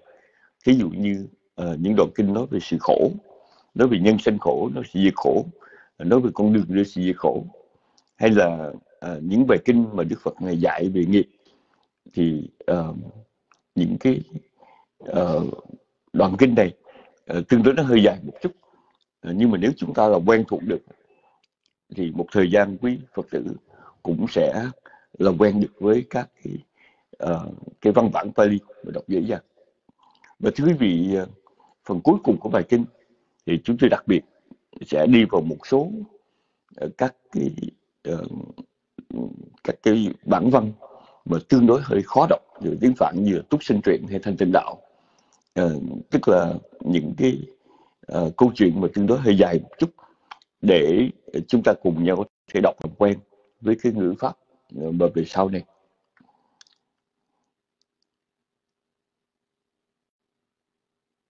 um, quý vị có còn nghe chúng tôi nói được không? Dạ quý vị có còn nghe chúng tôi nói được không vậy? Dạ. thì thưa quý vị trong giáo trình này uh, chúng tôi sẽ thử nghiệm với tất cả là 60 bài ở trong bốn thể loại khác nhau. Dạ, căn bản là dựa lên trên cái dựa trên cái uh, uh, những cái bài kinh từ kinh tụng cho đến những câu Phật ngôn uh, như là kinh Phật Cú hay là những đoạn kinh mà tư đối bậc trung và những câu chuyện cổ để quý Phật tử uh, có thể là quen với văn phạm và uh, bên cạnh cái phần thích nghĩa tức là chú thích ý nghĩa đó, thì uh, chúng ta sẽ có phần ngữ pháp để giảng giải một số ngữ pháp làm cho người quen ví dụ như dù là quý vị không nhớ hết nhưng mà chúng ta có khái niệm là ờ, uh, trong danh từ thì có chia là nam tính nữ tính và trung tính. Rồi uh, một cái danh từ nam tính thì những danh từ nam tính thì nó có tiếp cận người á người ý uh, ú vân vân. Và rồi uh, trong một danh từ thì nó có những chia theo cách như là chủ cách uh, đối cách uh, sử dụng cách uh, xuất uh, cách sở hữu cách định sở cách hô cách. Những cái những cái đó chúng ta sẽ uh, chúng ta sẽ làm quen qua phần ngữ pháp. Thì mỗi một bài học chúng ta học học một phần ngữ pháp như vậy. Và thưa quý vị uh, uh, chúng ta học về lấy một bài kinh làm chuẩn rồi sau đó thì uh, uh, chúng ta sẽ học một phần ngữ pháp. Ở đây chúng tôi không có cái ý là dạy chi tiết phần ngữ pháp như là quý vị thường học. Tuy nhiên à, nếu quý vị à, chúng tôi kỳ vọng rằng à, sau khi quý vị học cái giáo trình này xong mà nếu quý phật tử mà muốn mà có một cái có một cái à, à, có một cái chương trình mà tương đối là nghiêm túc thì trường tọa trời siêu cũng có một cái giáo trình gọi là phản ngữ hàm thụ để quý vị có thể học vào trong đó. Thì cũng có lớp đang và ngày hôm nay ở trong tiếng Việt Nam chúng ta thì tương đối là có nhiều sách giảng tiếng Bali cũng khá chứ không phải giống như ngày xưa. Đặc biệt là trong giáo trình của phản ngữ uh, chúng tôi sẽ thành ý thiền tại tự siêu là chúng ta học không có gấp. Mặc dù chúng ta có 60 bài nhưng mà có bài học nào mà thiền đội tự siêu cảm thấy rằng uh, bài đó nó uh, không thể gói gọn trong một ngày. Ví dụ như có bài kinh nói về nghiệp một đoạn ngôn nói về nghiệp hay là một đoạn uh, kể lại cái lúc mà Đức Thế Tôn sắp viên tịnh Niết Bàn thì tuy là một bài học mà có thể chia ra nhiều ngày tùy theo sự giảng dạy của sư tọa tự siêu. Uh, chúng tôi cũng khuyến khích quý Phật tử là càng ngày nên tìm cách sử dụng Zoom. Và để sử dụng Zoom quý vị có thể sử dụng qua cái dạng uh, laptop hay là desktop. Bởi vì ờ, nếu quý vị sử dụng Zoom mà quý vị xài ở trong cái cái điện thoại của mình thì cũng được chứ không phải không được. Nhưng mà cái lợi nhất của Zoom là những cái uh, những cái uh, biểu đồ hay là những cái ghi chú. Uh, những ghi chú nó uh, làm cho chúng ta rõ nghĩa. Uh, cái khó của về phía chi tăng giảng dạy đó là làm sao có thể viết được một cách uh, chính xác. Tại vì trong tiếng Bali nó có những cái chữ giống như chữ uh, T chữ D uh, có chấm dưới hay là chữ N mà có chấm trên chữ M chấm dưới. Uh, hay là chữ uh, A I U có cái uh, dấu gạch ngang chẳng hạn. Thì uh, quý Phật tử sẽ uh, sẽ phải uh, để ý cái đó nhiều và chỉ tăng phải biết cho chính xác. Thì trước kia ở trong phao Thóc chúng tôi không có làm được chuyện đó mà chúng tôi chưa thử nghiệm cái đó bao giờ. Mà chúng tôi chỉ copy dán paste lên thôi. Nhưng mà có lẽ là uh, về sau này đó, thì uh, khi mà chúng ta học song song quý vị có thể uh, có thể uh, uh, được cái lợi thế là giống như là đang ở trong lớp học và các vị giảng sư đang cầm uh, phấn trắng viết lên bảng đen quý vị sẽ thấy rõ ràng. Uh, chúng tôi không muốn làm quý vị bị chi phối phân tâm nhưng mà nếu quý vị học càng ngày mà học được cả hai bên PowerTalk và bên Zoom uh, thì cái Zoom nó sẽ có lợi. Và trong tương lai thì uh, chúng ta cũng có nhiều cái chương trình khác giống như Zoom như là Google Chat chẳng hạn. Thì uh, chúng ta cũng có thể sử dụng được. Nhưng mà hiện tại thì uh, chúng ta sử dụng Zoom và cũng may mắn là trong thời gian này thì uh, đã Đức tự Tri đã đầu tư nhiều thời giờ uh, và uh, tâm trí vào cái việc mà làm sao những cái văn bản uh, những cái đồ họa được post trên Zoom một cách tốt nhất là uh, hôm qua tới nay chúng tôi có làm việc với đại đức tự tri để làm sao viết được tiếng phạn trên Zoom thì chúng tôi thấy rằng nó sẽ mở cho chúng ta một cánh cửa ờ, một cơ hội mới. Không phải chỉ dạy riêng thắng pháp hay là uh, là uh, hay là môn phản ngữ Pali mà ngay cả cái môn trung bộ kinh của chúng ta ở trong tương lai thì thưa quý vị uh, chúng tôi cũng hy vọng rằng chư vị giảng sư dần dà có thể quen được để giảng uh, qua Zoom như là chúng ta sử dụng trong lớp học. À, chúng tôi nói điều này thì nghe thì nó cũng hơi quá là coronavirus tức là covid-19 đang tạo một cơn đại dịch khắp nơi trên thế giới. Nhưng mà nếu chính vì cái cơn đại dịch này mà chúng ta thay đổi được cái cách sinh hoạt thay đổi được cách dạy thay đổi cách học ở trong room thì nó cũng là một phần là ờ, chúng ta có trái chanh thay vì chúng ta ngồi chúng ta than nó là chua thì chúng ta dùng trái chanh đó chúng ta pha một ly lemonade một ly nước chanh thật ngon để uống. Thì không chừng là do cái coronavirus này mà ờ, chúng ta có thể đào sâu vào một cái cách dạy mà tương đối. Ban đầu mới nghe thì nó hơi rắc rối về kỹ thuật nhưng mà về lâu về dài nó lại tốt. Yeah, nó lại tốt cho tất cả chúng ta uh, học ở xa học theo cách hàm thụ. Có nhiều lần chúng tôi tâm sự với quý phật tử đó uh, không phải là để chúng tôi quảng cáo nhưng mà uh, phải nói rằng trong suốt cuộc đời tu của chúng tôi uh, từ hồi nhỏ vào chùa cho đến bây giờ uh, thì uh, chúng tôi chưa có thấy một cái cơ duyên nào mà quý vị học Phật pháp ở trong một lớp học mà có khi có ba bốn vị có khi có năm sáu vị giảng sư cùng có mặt để mà thảo luận để mà chia sẻ như là trung Phật pháp Buddha Dhamma à, chỉ riêng cái đó đó là một thắng duyên rồi. Rồi bên cạnh đó đó thì chúng ta lại có được một cái duyên cũng rất là quý. Đó là ở trong room ờ, chúng ta có những vị chuyên ờ, về thắng pháp về Pali vân vân. Cái đó nó cũng là một cái một cái lời điểm đặc biệt rất là lớn. Và thưa quý vị trong thời gian mà mình học á thì ngày xưa phải nói rằng cái việc mà đi lại việc mà ờ, nghiên cứu sách vở nó cực hơn bây giờ nhiều lắm. Bây giờ mình ngồi ở nhà có thể tham gia lớp học uh, dễ dàng. Đồng thời uh, sách vở thì ở trên internet kéo xuống là chúng ta có được. Có thể nói rằng uh, chúng tôi nói thì hơi quá lời nhưng mà uh, ngày xưa ừ, mình học khó tới 10 bây giờ không tới một nữa thưa quý vị. Cái phương tiện nó tốt như vậy. Và nếu chúng ta có tận dụng được thì thật sự rất là rất là phí rất là ủ nói cho cùng thì ờ, ở trong cuộc sống này ờ, cái cái chìa khóa của cuộc sống, tức là biết tận dụng thì giờ, chúng ta không có nhiều thì giờ trong cuộc sống và ai cũng có cái thì giờ giống nhau. Dù là ông vua hay là thường dân, người giàu hay người nghèo, nam hay nữ, xuất gia hay tại gia, thì mỗi một ngày tất cả chúng ta đều có 24 giờ hết. Và trong 24 giờ đó, mình tận dụng như thế nào có lợi lạc cho mình cho người khác đó là cái khéo của mỗi người. Và để tận dụng cái lợi lạc và uh, một cách lâu dài bền bỉ thì chúng ta rất cần những cái uh, những cái cái hướng đầu tư hợp lý. Và dĩ nhiên trong chương trình Phật học tại đây nếu quý Phật tử mà có được cái uh, sự đầu tư vào uh, việc học Phật pháp đào tạo cho mình một cái tự tạo cho mình một cái nền tảng vững chắc uh, về Phật pháp mà bên cạnh đó chúng ta có thể học thêm tiếng Phạn uh, chúng ta có thể học thêm thắng pháp. Thì chúng tôi có thể nói với Phật tử rằng uh, về đường dài đó nó sẽ rất có lợi cho tất cả chúng ta. Bởi vì uh, một thời gian sau này quý Phật tử sẽ thấy rằng uh, môn thắng pháp hay là môn phản ngữ không phải là một hai cái môn hoàn toàn khác biệt với trung bộ. Mà hai môn đó khi chúng ta học thì chúng ta trở lại học trung bộ chúng ta thấy rất là hoan hỷ hay bất cứ bộ kinh nào khác tại vì cho chúng ta rất là nhiều.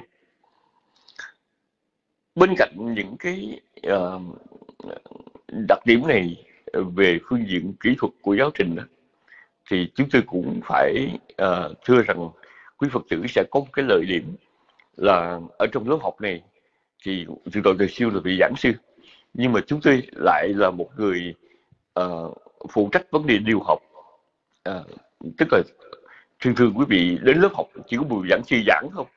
Còn bây giờ chúng tôi là làm được chúng tôi là làm cho quý vị một việc đó là thay mặt cho quý phật tử để nêu lên câu hỏi và nêu lên câu hỏi cho các vị giảng sư. Và trong trường hợp này thì gọi từ siêu là vị ờ, giảng sư của cái môn uh, phản ngữ Pali. Thật ra tại sao cái việc đặt câu hỏi nó quan trọng? Tại vì nếu chúng ta biết được chỗ nào nên hỏi và đâu là cái điểm nhấn à, đâu là trọng điểm mà mình hỏi đó thì sẽ đỡ mất thì giờ và nó cũng lợi ích vô cùng. Nếu chúng ta học một cái môn gì đó mà chúng ta không hỏi đó thì đa phần là chúng ta không có uh, chúng ta không có uh, xào đi xào lại. Uh, chúng ta không có nhai đi nhai lại mà chúng ta chỉ cứ nghe cho gì đó thoảng rồi đi qua. Nhưng mà để mình đặt những câu hỏi đó thì tương đối là mình phải quen thuộc với cái ngành đó mình mới hỏi được. Ví dụ như Ờ, uh, chi tăng giảng về thắng pháp. Mà chúng tôi cũng biết về thắng pháp chúng tôi nêu câu hỏi đó. Thì đa phần đó, nó đỡ mất thì giờ hơn là một người không biết về thắng pháp thì nêu lên câu hỏi. Học tiếng phạn cũng vậy. Do vậy ở trong cái uh, ở trong uh, ở trong cái giáo trình này thì chúng tôi siêu ngoài là cái vị đứng giảng thì cũng còn là một vị uh, cũng còn có việc vị nữa là chúng tôi là người đưa ra những câu hỏi uh, đưa ra các uh, ờ, điều học vấn đề thảo luận. Do đó quý vị phật tử cũng sẽ lợi lạc ờ, điểm mà chúng tôi rất là mong mỏi là sau khi cái giáo giáo trình uh, phản ngữ của 60 bài được kết thúc thì uh, quý phật tử khi mà tụng kinh thí dụ mình tụng nam mô tassa bhagavato arahato samma sambuddhassa thì chúng ta không còn nghe nó chỉ là âm thanh không mà chúng ta nghe nó có cái gì quen quen. À, chúng ta biết chữ nam mô rồi tassa rồi bhagavato và một điểm sau cùng mà liên quan đến cái uh, giáo trình dạy phần ngữ Pali là uh, chúng tôi sẽ làm một cách rất là quyển chuyển. Như hồi nãy chúng tôi nói rằng đây là một cái lớp học kết hợp giữa uh, thực dụng và uh, căn bản về ngữ pháp. Ban đầu thì chúng tôi sẽ chú trọng nhiều về thực dụng tức là mình lấy một số các cái bản kinh mà nghĩ rằng phổ thông lời lạc và từ các bản kinh đó ờ, chúng ta sẽ thích nghĩa, tức là chúng ta sẽ chú thích về ý nghĩa và giới thiệu một vài cái nét đại lực về văn phạm. Và bởi vì cái phần ngữ pháp nó sẽ không có đi theo cái trình tự như là chúng ta học chính thức. Nhưng mà nếu dài mà chúng ta có cái nhu cầu mà cảm thấy rằng về vấn đề ngữ pháp quan trọng đó, thì chúng tôi sẽ đổi lại là chúng tôi đưa ngữ pháp lên trên và chúng tôi sẽ dùng những cái câu Phật ngôn làm những thí dụ ở dưới thì như vậy quý vị sẽ có cái ờ, căn bản về ngữ pháp. Nhưng mà đó là cái chuyện bị dài có thể nó qua một cái nó qua cái giáo trình thứ hai. Nhưng giáo trình đầu tiên là ờ, chúng tôi vẫn chú trọng về vấn đề những câu Phật ngôn trước ờ, và giải thích ngữ pháp dựa trên câu Phật ngôn đó. Cũng xin nói lại là đây không phải là một cách dạy xa lạ mà từ trong truyền thống ở trong chùa ngày xưa đã học như vậy. Và học như vậy lấy một cái ví dụ như là uh, Ờ, chư tăng ở campuchia khi mà học Phật học và học phản ngữ đầu tiên các vị học kinh pháp cú. Dạ, học kinh pháp tu cú. Thì vào lấy câu kinh pháp cú mano bút băng gama thamma mano sattha mano maya mano là gì? Bút băng là gì? Và rồi mano là gì? Sattha là gì chẳng hạn. Thì uh, đọc từng câu như vậy rồi từng uh, tại sao gọi là mana mà bây giờ là mano là chủ cách. Dạ, và bút băng là đi trước. Tại sao? Ờ, chữ bút băng này là không phải là bút bát mà bút bê mà là bút băng thí dụ thì lấy từ cái chữ ở trong câu đó dựa trên câu đó nó không nó không theo cái trình tự của ngữ pháp. Nhưng mà quý vị quen với mặt chữ quen với cách nói và có một vài cái, cái khái niệm. Thì cái cách học kinh pháp cú đi học tiếng phạn đó nó có từ ngàn xưa có từ nhiều thế kỷ qua ở tại các quốc gia phật giáo chứ đây không phải cách học mới chúng tôi muốn nói điều này là để quý phật tử đừng có ngại rằng à, tại sao mà mình à, à, tại sao mà mình mình học một cái kiểu gì lạ vậy? Thay vì mình học vào mình học trước nhất học về cách chia danh từ à, danh từ theo nam tánh tiếp tiếp ngữ á rồi yếu ú vân vân. Nhưng mà sao bây giờ mình không có học theo cái căn bản mà mình học mình học ngang xưa? Nhưng mà hồi nãy chúng tôi có nói rằng trong cái ngôn ngữ có hai cách học. Một cách học là thuần về văn phạm. Yeah. Ờ, chúng ta vào chúng ta học về uh, những cái động từ ờ, những từ chủ từ túc từ động từ trong câu rồi cách chia danh từ số ít số nhiều rồi động từ là ngôi này ngôi kia mình mình học theo cái trình tự của ngữ pháp. Nhưng mà có cách học thứ hai mà người ta học rất là nhiều chứ không ít là cách học thực dụng. À đi chợ nó làm sao mình đi nhà băng nó làm sao mình lên máy bay nó làm sao và câu nói đó nên nói thế nào cho nó đúng từng câu một. Dần dà thì chúng ta cũng hình thành cái khái niệm về ngữ pháp. Dĩ nhiên là à, dĩ nhiên là không có cách nào mà hoàn hảo hết. Mỗi cách này nó được cái này cách kia được cái kia. Nhưng mà chúng tôi tin rằng về lâu về dài đó nó sẽ có lợi cho quý phật tử. Bây giờ thì hy vọng thượng tọa từ siêu có thể nghe được. Và nếu thượng tọa từ siêu nghe được thì xin thỉnh thượng tọa khoan hỷ trở lại để chia sẻ với quý phật tử à, cái điểm số 4 của bài học ngày hôm nay trong ngày khai giảng đó là à, những cái điều khó và điều dễ khi học tiếng Phạn. à, ờ, quý vị nghe nãy giờ chị đang nói quý vị sẽ nghĩ rằng à, rất là khó nhưng mà thật ra tiếng Bali có một số điểm rất là dễ so với học ngôn ngữ khác. Thì không biết thượng tọa từ siêu có mặt ở trước máy và thượng tọa có nghe được không? Nếu thượng tọa nghe được kính thỉnh thượng tọa quan hỷ trở lại một lần nữa xin hỏi trường tọa từ siêu. Trường tọa có nghe được không? Thưa vị rất tiếc là hôm nay trường tọa từ siêu có vấn đề. Dạ dạ kính không thỉnh trường tọa từ siêu.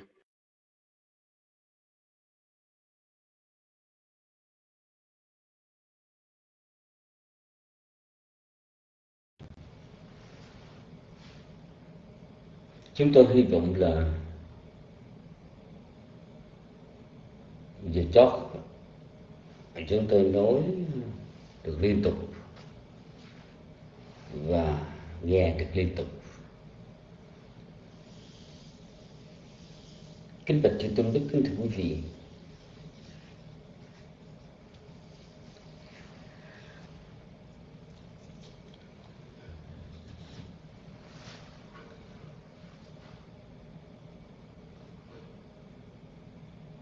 Học tiếng Bali là thứ ngôn ngữ mà chúng ta học khác với cái những cái ngôn ngữ bình thường. Nó khác ở chỗ nào? Cái ngôn ngữ bình thường chẳng hạn như tiếng anh, tiếng pháp, tiếng đức, tiếng ý. Chúng ta học các cái ngôn ngữ đó. Là chúng ta học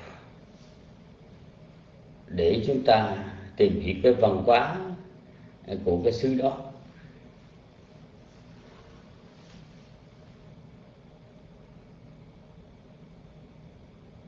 Nhưng mà chúng ta học tiếng Bali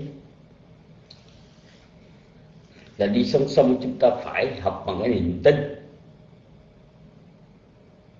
Tức là vì tiếng Bali là bảo tồn Phật ngôn do đó cho nên những người mà có cái lòng tin nơi Đức Phật, lòng tin nơi giáo pháp muốn hiểu về Đức Phật là dạy cái gì, muốn hiểu giáo pháp và trình bày cái gì, thì cái niềm tin đó nó sẽ thôi thúc cho chúng ta học Bali học tốt lắm thưa quý vị. Đó là chúng tôi kinh nghiệm bản thân. Học tiếng Bali mà học bằng cái niềm tin đó, niềm tin đức Phật Nam Pháp là chúng ta học chúng ta không có chán.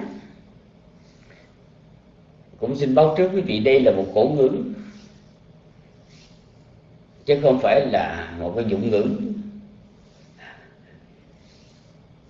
Mặc dù không phải là một tử ngữ nhưng mà nó không phải là một sinh ngữ như là các cái ngôn ngữ hiện hiện tại trên thế giới này nó chỉ là một cổ ngữ. Cho nên học cổ ngữ mà chúng ta không có mục đích là chúng ta khó học lắm. Chúng ta phải có mục đích. Mục đích của chúng ta là gì? Mục đích của chúng ta là để đọc cái bản kinh Bali mà chúng ta vừa đọc vừa hiểu. Chúng ta khỏi cần phải mượn qua cái lời dịch của người khác. Chúng ta nghe mà hiểu. Chúng ta khỏi cần phải mượn cái lời thông dịch của người khác.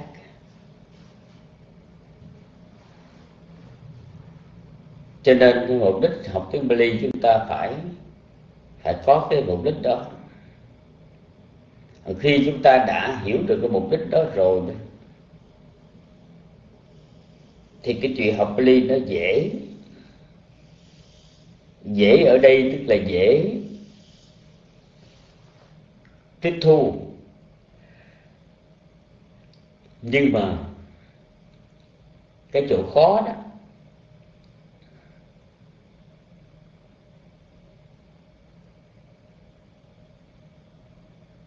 ở đây vừa khó học mà vừa là khó dạy.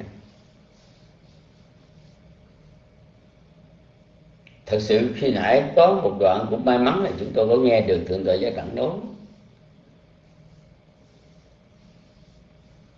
Để chúng tôi thấy rằng một cái điểm khó khi mà trong khi mà chúng tôi dạy à, Bali ở trong à, trong room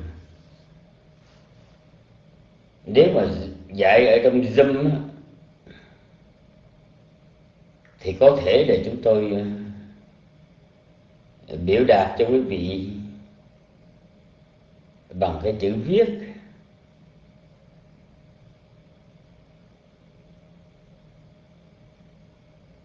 Thí dụ như bây giờ, cái mẫu tự chữ ngát cà khá cà ngá. Chữ ngá đó là chữ n, dấu chấm ở phía trên đầu mà chữ nhá chà chá chà chá nhá thì chữ nhá đó là n có dấu ngã ở trên đầu đó. Đó. Nát. Nát mà công lưỡi lên nóc giọng. Ép lưỡi công chót lưỡi lên nóc giọng rồi bật ra. Nát thì dính nát cái là n có dấu chấm ở phía dưới. Còn nát, để lưỡi vào giữa hai hàm răng.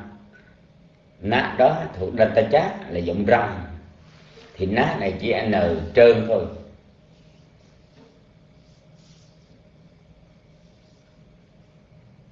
Thì chúng ta có cái bản viết thì chúng ta sẽ viết ra để chúng ta nhận hiểu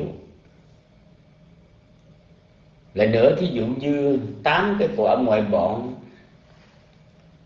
Yara Wat Sát Yarala chữ lá mà giọng răng đó sĩ âm đó, thì chữ uh, chữ L là chấm chữ L là không có chấm. Còn nếu như mà quát sát, hát lát lá mà cong lưỡi lên trên nóc giọng là chữ chữ L có chấm có chấm dưới. Ăn và chữ M có chấm dưới.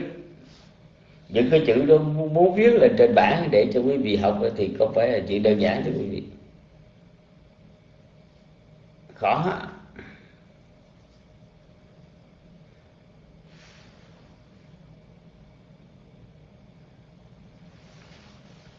cho nên ờ,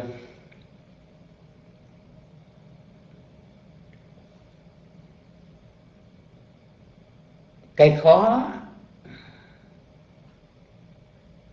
của cái sự ờ, giảng dạy về tiếng Bali là chúng tôi không biết phải trình bày, phải viết như thế nào ở trên màn hình. Và quý vị không biết như thế nào để chúng ta hiểu được cái chữ đó. Bây giờ chỉ có điều là khi một cái đoạn kinh, một đoạn phật ngôn ngày hôm đó học và thượng tọa giới đảnh trích dẫn đó, thì đương nhiên chúng ta copy vào thì nó có đầy đủ những cái dấu dấu âm ở phía trên đầu hay giờ ở phía dưới dưới đáy vậy đó rồi chúng tôi sẽ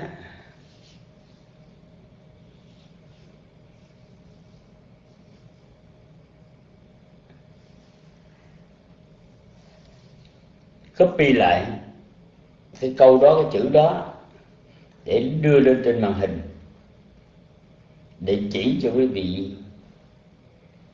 về cái cách mà chúng ta đọc cũng như là cái cách để chúng ta à, phân tích ngữ ngữ pháp. Cách mà chúng ta phải hiểu nghĩa. Thì đương nhiên là học ở trong room đó, học online kiểu này nhá, là cái việc dạy nó khó hơn năm lần so với dạy ở tại trường lớp. Dạy tại, tại trường lớp chúng tôi chỉ cần một cái tấm bảng trắng một cái bút hay là tấm bảng đen một cái viên phấn là đủ rồi. Là ở dưới lớp cứ nhìn lên đó mà ghi mà hiểu còn ở đây chúng ta hơi bị lúng túng lúc ban đầu.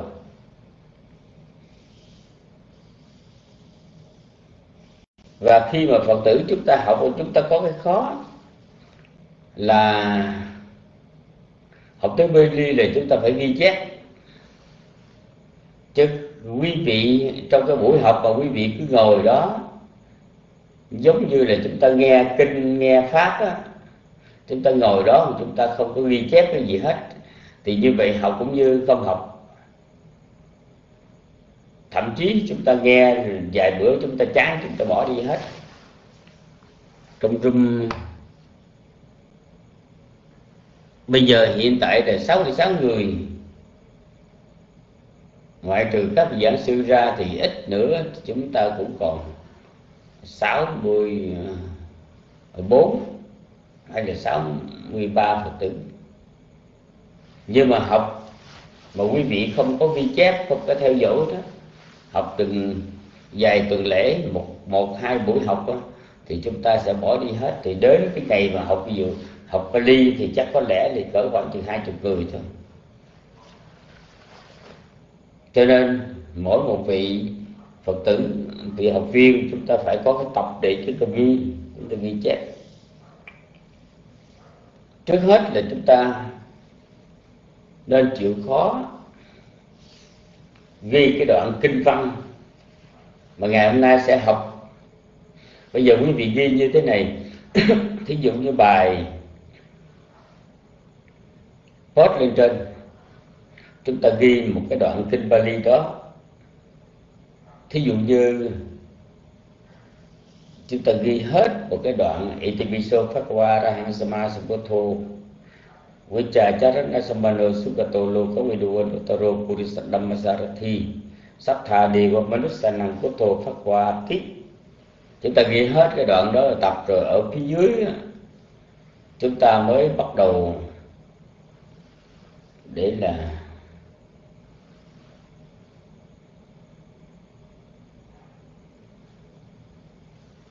chú thích từ vựng, rồi bắt đầu chữ ITP hai chấm. Để mới bắt đầu phân tích ra. Chữ y tí nó là một liên từ.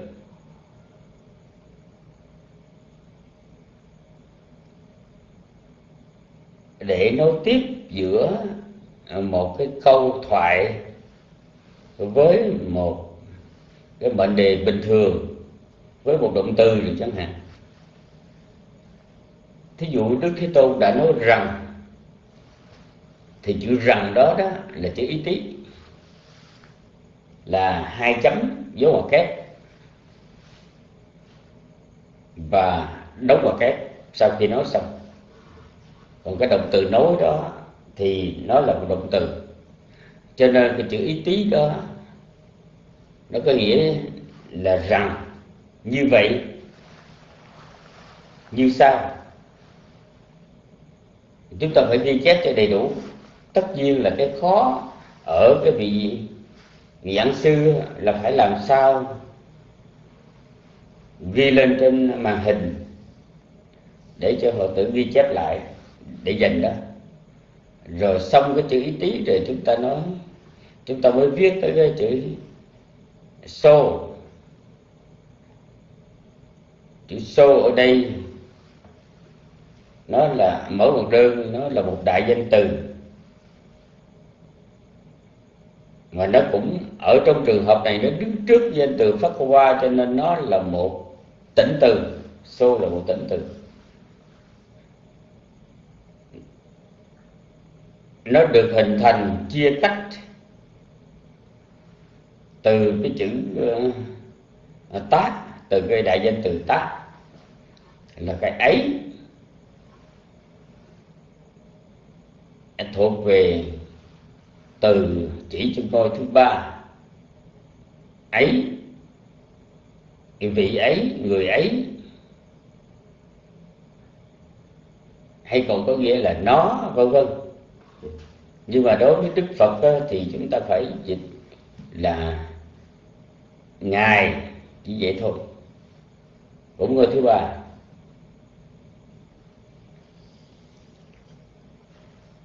Rồi cái chữ phát có qua mở một đơn đó là danh tỉnh từ. Tại vì à, chữ pháp qua nó là chủ ngữ hay là chủ cách của cái tiếng danh tử từ phát, phát quan tú. Và phát quan tú có nghĩa là người có phần hay là người hữu hữu phật, người hữu hạnh rồi chúng ta ghi chú hết tất cả những cái danh từ ở trong bài đó rồi đó. Chúng ta mới bắt đầu ở dưới là nghĩa dịch.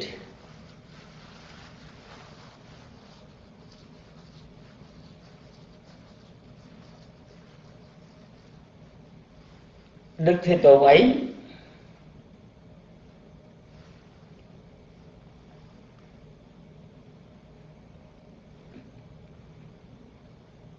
chính là bậc a la hán a la hán chánh đẳng giác samasapotho vân vân thì bước đầu chúng tôi mới ghi cái nghĩa dịch đó xong. Thì như vậy còn cái gì ghi chú nữa thì chúng ta nhớ, chúng ta nhớ ba phần một là chánh văn hai là văn ba là nghĩa dịch rồi. Hay chúng ta thêm một cái nữa là chú thích. Một bài học của chúng ta nó phải có như vậy đó, thì mới giúp cho chúng ta học dễ được. Chứ còn bằng không thì chúng ta ngồi nghe thì chúng ta chán chết, thưa quý vị. Cho nên, khi mà thượng tọa giác đẳng bàn với chúng tôi về cái dạy vali thì chúng tôi rất là, trước nhất là chúng tôi rất quan hỷ. Bởi vì cái môn đó là cái môn mà sở trường của chúng tôi. Nhưng mà chúng tôi sau đó lại băn khoăn là cách giảng dạy ở trong room giảng dạy trên internet. Nó sẽ có trở, những cái trở ngại này trở ngại khác. Và cái người học cũng có những trở ngại ngại này, những trở ngại khác.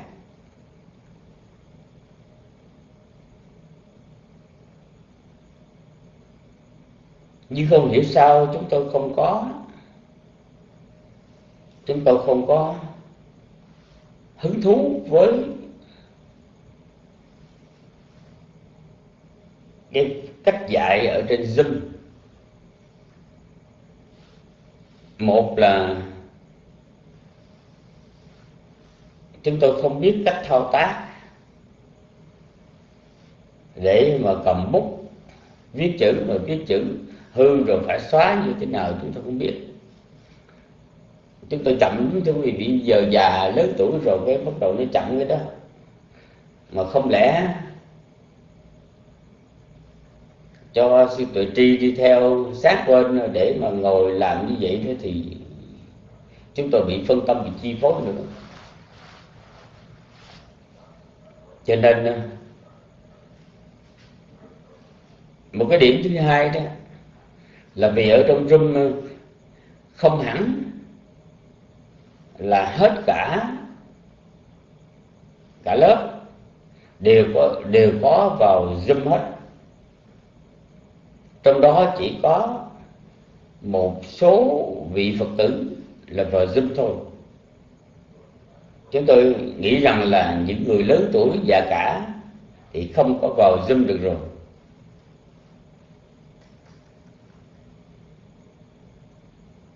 Cho nên nếu mà chúng tôi vào zoom để mà dạy đó, thì à, thì những người ở trong bánh thoát nghe chúng tôi chỉ chỉ nghe âm thanh, chúng tôi thuyết chúng tôi nói, đây nè, chữ này, phải viết như thế này, chỉ viết như thế này. Nghe như vậy, họ không hiểu là chúng tôi muốn muốn nói cái gì. Bởi vì họ đâu có thấy trên màn hình được viết cho n có dấu ngã trên đâu. Thì do đó cũng có cái khó. Thôi thì bây giờ tùy để chúng ta xem coi cái giáo trình bài học của chúng ta lúc ban đầu học bài gì. Rồi chúng tôi sẽ quyển chuyển. Chúng tôi sẽ quyển chuyển. Chúng tôi sẽ quyển chuyển để nói. Chứ còn bây giờ nếu nó có khó, cái dễ thì chúng ta có một cái dễ mà có mười cái khó. Hoặc là có khi trong cái bài đó, cái khó nó chỉ có ba nhưng vẫn dễ hơn bảy nếu mà chúng ta nói bây giờ chúng ta nản chúng ta bỏ thì cũng uổng. Mà chúng tôi tin rằng là nếu mà học theo cái cách của thượng tọa dân đẳng là học thực dụng đó học cách thực dụng đó, thì chúng ta dễ học hơn chúng ta dễ dễ thu hoạch hơn là chúng ta học theo cái cách gọi là ngữ pháp nếu học thuần về ngữ pháp thì thưa quý vị, chắc chắn là không được. Bởi vì trước đây đó, cũng đã có thời gian. Ở trong room, hồi đó còn có room, cái lớp diệu pháp, hay những cái room khác, có mời chúng tôi dạy về văn phạm Bali, nhưng chúng tôi từ chối. Bởi vì cách dạy đó không phải chuyện dễ. Nếu dạy văn phạm Bali, dạy thuần còn bây giờ chúng ta học theo thực dụng tức là chúng ta học cái đoạn kinh. Hoặc chúng ta cũng có thể thí dụ như thứ hai thứ ba thứ tư thứ hai thứ ba à, thứ tư thứ thứ ba thứ tư thứ sáu thứ bảy. Đã học cái bài kinh nào rồi thì trích ngay trong những bài kinh đó lấy cái đoạn Phật ngôn nào phần nào đó rồi cái nhắc lại ồ ngày à, thí dụ thứ hai học nói hôm tuần rồi vào cái ngày thứ bảy chúng ta học trung bộ kinh cái bài kinh à, sư tử hống đại kinh chẳng hạn. Ở trong đó có cái đoạn này rồi bắt đầu trích đoạn đó ra mới bắt đầu giải thích từ ngữ giải thích ngữ pháp rồi ý nghĩa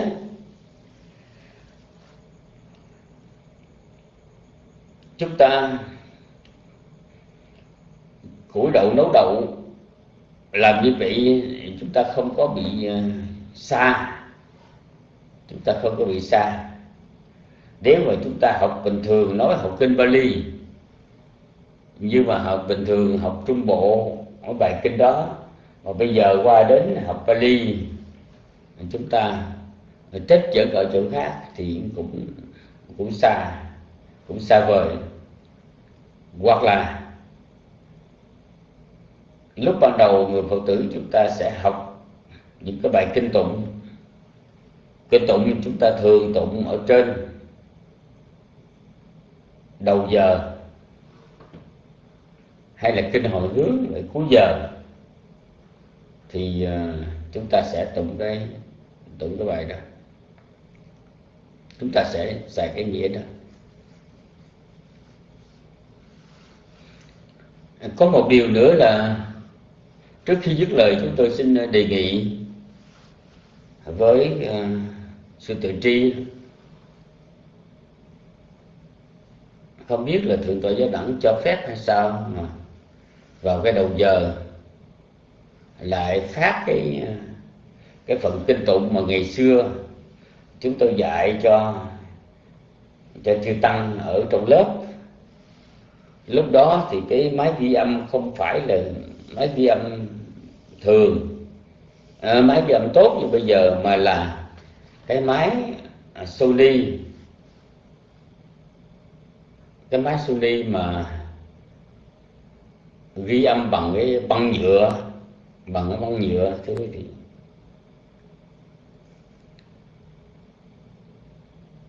cho nên mỗi lần ngoài lên lớp dạy rồi cho các vị đọc đó, ở trong đó cái tiếng của chúng tôi thì ở gần còn cái tiếng cái âm thanh của các vị tụng thì ở xa. Bởi vì cái máy ghi âm nó không có thâu xa được. Nó chỉ thâu gần thì rõ thâu xa thành ra nó choáng nhau. Và có đôi khi tụng thì cũng không đều. Do vậy chúng tôi nghe cái chỗ kinh tụng này chúng tôi không, thấy không có ổn rồi thì đề nghị là chúng ta gỡ xuống và chúng ta cho trở lại à, tụng à, cái bài như trước đây vậy. ở trong đó có những bài kinh mà tiếng Pali đọc đọc chung tập thể nó rõ thì lúc đó chúng ta sẽ trích những cái bài kinh đó để mà chúng ta giảng giải từ ngữ cũng hay thưa quý vị.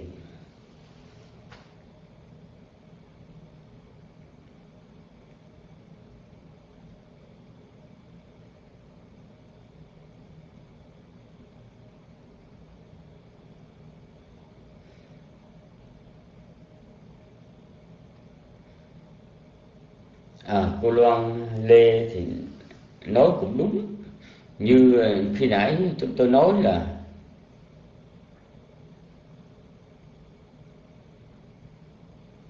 học qua tiếng Pali là một cổ ngữ, cho nên nó khó học tiếng Anh. Học Anh văn thì nó là một sinh ngữ. Nhiều người biết, và chúng ta có thể giao tiếp để chúng ta có thể thành thạo được. Còn tiếng Bali thì giao tiếp. Bây giờ kiếm người mà giao tiếp, đàm thoại bằng tiếng Bali không phải chuyện dễ chỉ học trong kinh điển mà thôi. Với hơn nữa, nhưng mà có điều như thế này, ngược lại, phát âm tiếng Bali thì dễ. Dễ hơn là chúng ta phát âm tiếng Anh. Quý vị nhớ cái chỗ đó. Cái nào cũng có cái khó, cái nào cũng có cái dễ.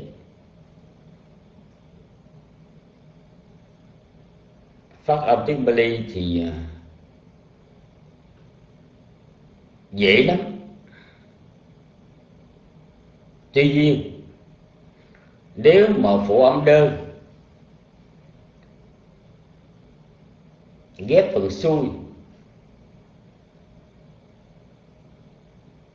thì đọc dễ. Nhưng mà phụ âm kép vần xuôi mà gặp phụ âm kép ở đầu thì chúng ta hơi khó. Thí dụ như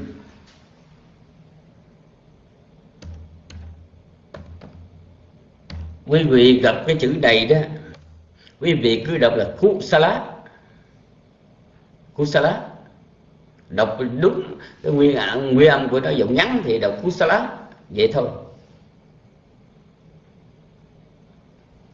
Còn khi mà chúng ta gặp cái chữ này đó, thì ăn phụ ăn kép. Kusala là thiện.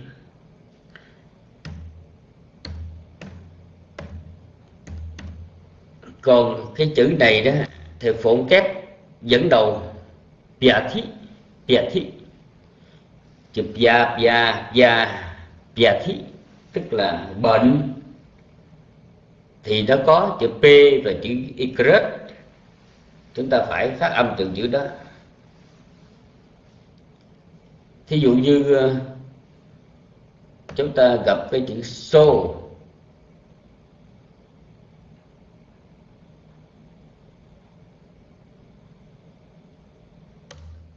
thì nó dễ.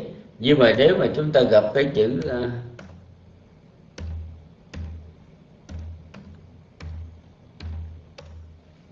chữ này chúng ta phải đọc Swakhato Swak Swak Swakhato nó là chữ so và chữ akhato thành ra. Swakhato Swakhato Swak Swak thì gặp cái chỗ đó là chúng ta phải phụ kép chỗ đó được cái đó là phần xuôi còn cái phần ngược đó, thì nó cũng rắc rối lắm. Nếu mà cái phần ngược mà chúng ta chúng ta gặp uh, chữ à, uh, ắt cá hay là chữ ắt gá thì cái phần ngược này thì dễ. Còn nếu như chữ 80 đó. Thì chúng ta đọc Asitya Asitya. Nó cũng nó cũng, cũng hơi kẹo miệng chút xíu thôi.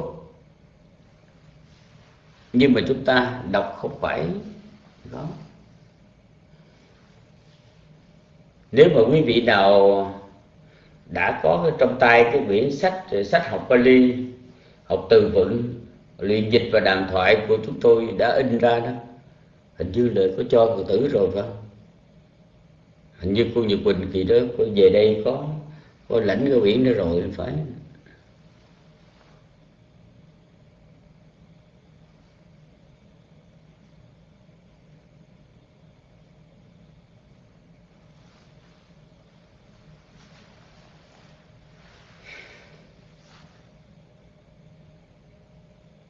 thì chúng ta nói chung á, tức là chúng ta chú ý khi mà đọc á, vần xuôi đơn giản thì chúng ta đọc dễ dòng ngược vần ngược nguyên tắc thì chúng ta dễ. Nhưng mà vần xuôi có vợn ghét vần ngược có trường hợp ngoại lệ bất nguyên tắc thì cái này là nó rắc rối rắc rối chúng ta.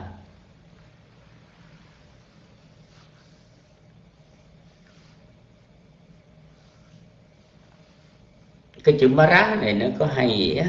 Nếu mà chữ ma có dấu trường âm trên ma rá tức là ma ma vương, ma quân, thiên ma. Còn chữ ma rá mà không có thì có nghĩa là sự chết. Vậy thôi.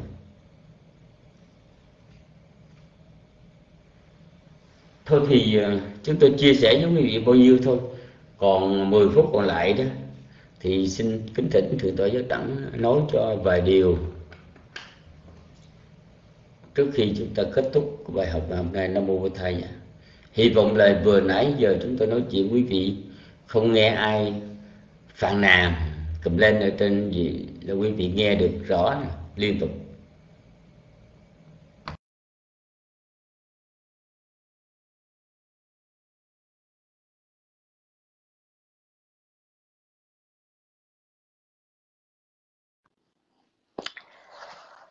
Sa thú kính trình thưa tổ sư à, thưa phật tử à, khi nãy thưa tổ sư có đề cập đến à, một điều à, thưa tổ à, có nói rằng khi mà chúng ta học tiếng Pali đó à, nó khác với cái cách chúng ta học một cái ngôn ngữ khác là khi chúng ta học tiếng Pali chúng ta học với cái đức tin ở Phật pháp.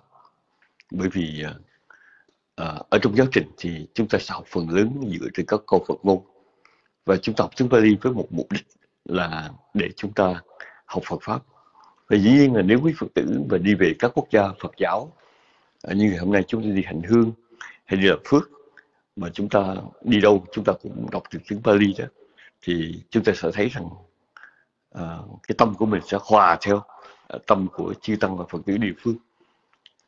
Uh, thưa quý vị, uh, điều này nói một mặt khác là khi mà chúng ta học sinh ngữ mà chúng ta học kèm với một môn khác đó, thì chúng ta sẽ học mau hơn. À, ngày xưa chúng tôi sang bên mỹ à, chúng tôi học uh, tiếng anh cùng lúc chúng tôi học psychology. Uh, psychology là một cái môn học mà uh, cần một số các cái dụng ngữ uh, tương đối hơi chuyên môn. Nhưng vì chúng tôi rất là thích thích học môn này giờ đã học nhanh hơn. Thì chúng tôi thấy rằng à, nếu một người học tiếng phạn Bali mà lại ưa thích học Phật pháp thì có thể nói rằng ờ, chúng ta giống như một cánh buồm mà đi ra khơi mà lại có gió mà gió thuận uh, thuận buồm xuôi gió vậy đó. Dạ chúng ta sẽ học nhanh hơn. Ở trên đời này cái gì cũng vậy. Nếu mình học cái gì mà mình vô mình thích thì mình sẽ học mau lắm. Chúng tôi có quen với một phật tử vị này có trí nhớ rất là tốt nhưng mà lại có cái năng khiếu về âm nhạc. Do đó khi là vị này nghe một uh, bản nhạc hay và vị này nhớ rất là nhanh để đổi mà chúng tôi cũng ngạc nhiên. Nhưng mà điều đó nó cũng nói là một điều là một khi mình có một cái trí nhớ tốt rồi mà lại nó liên quan đến một cái uh, một cái môn một cái ngành một lĩnh vực mà mình ưa thích và đặc biệt là mình lại có sở trường trong lĩnh vực đó nữa thì mình học nhanh lắm thưa quý vị.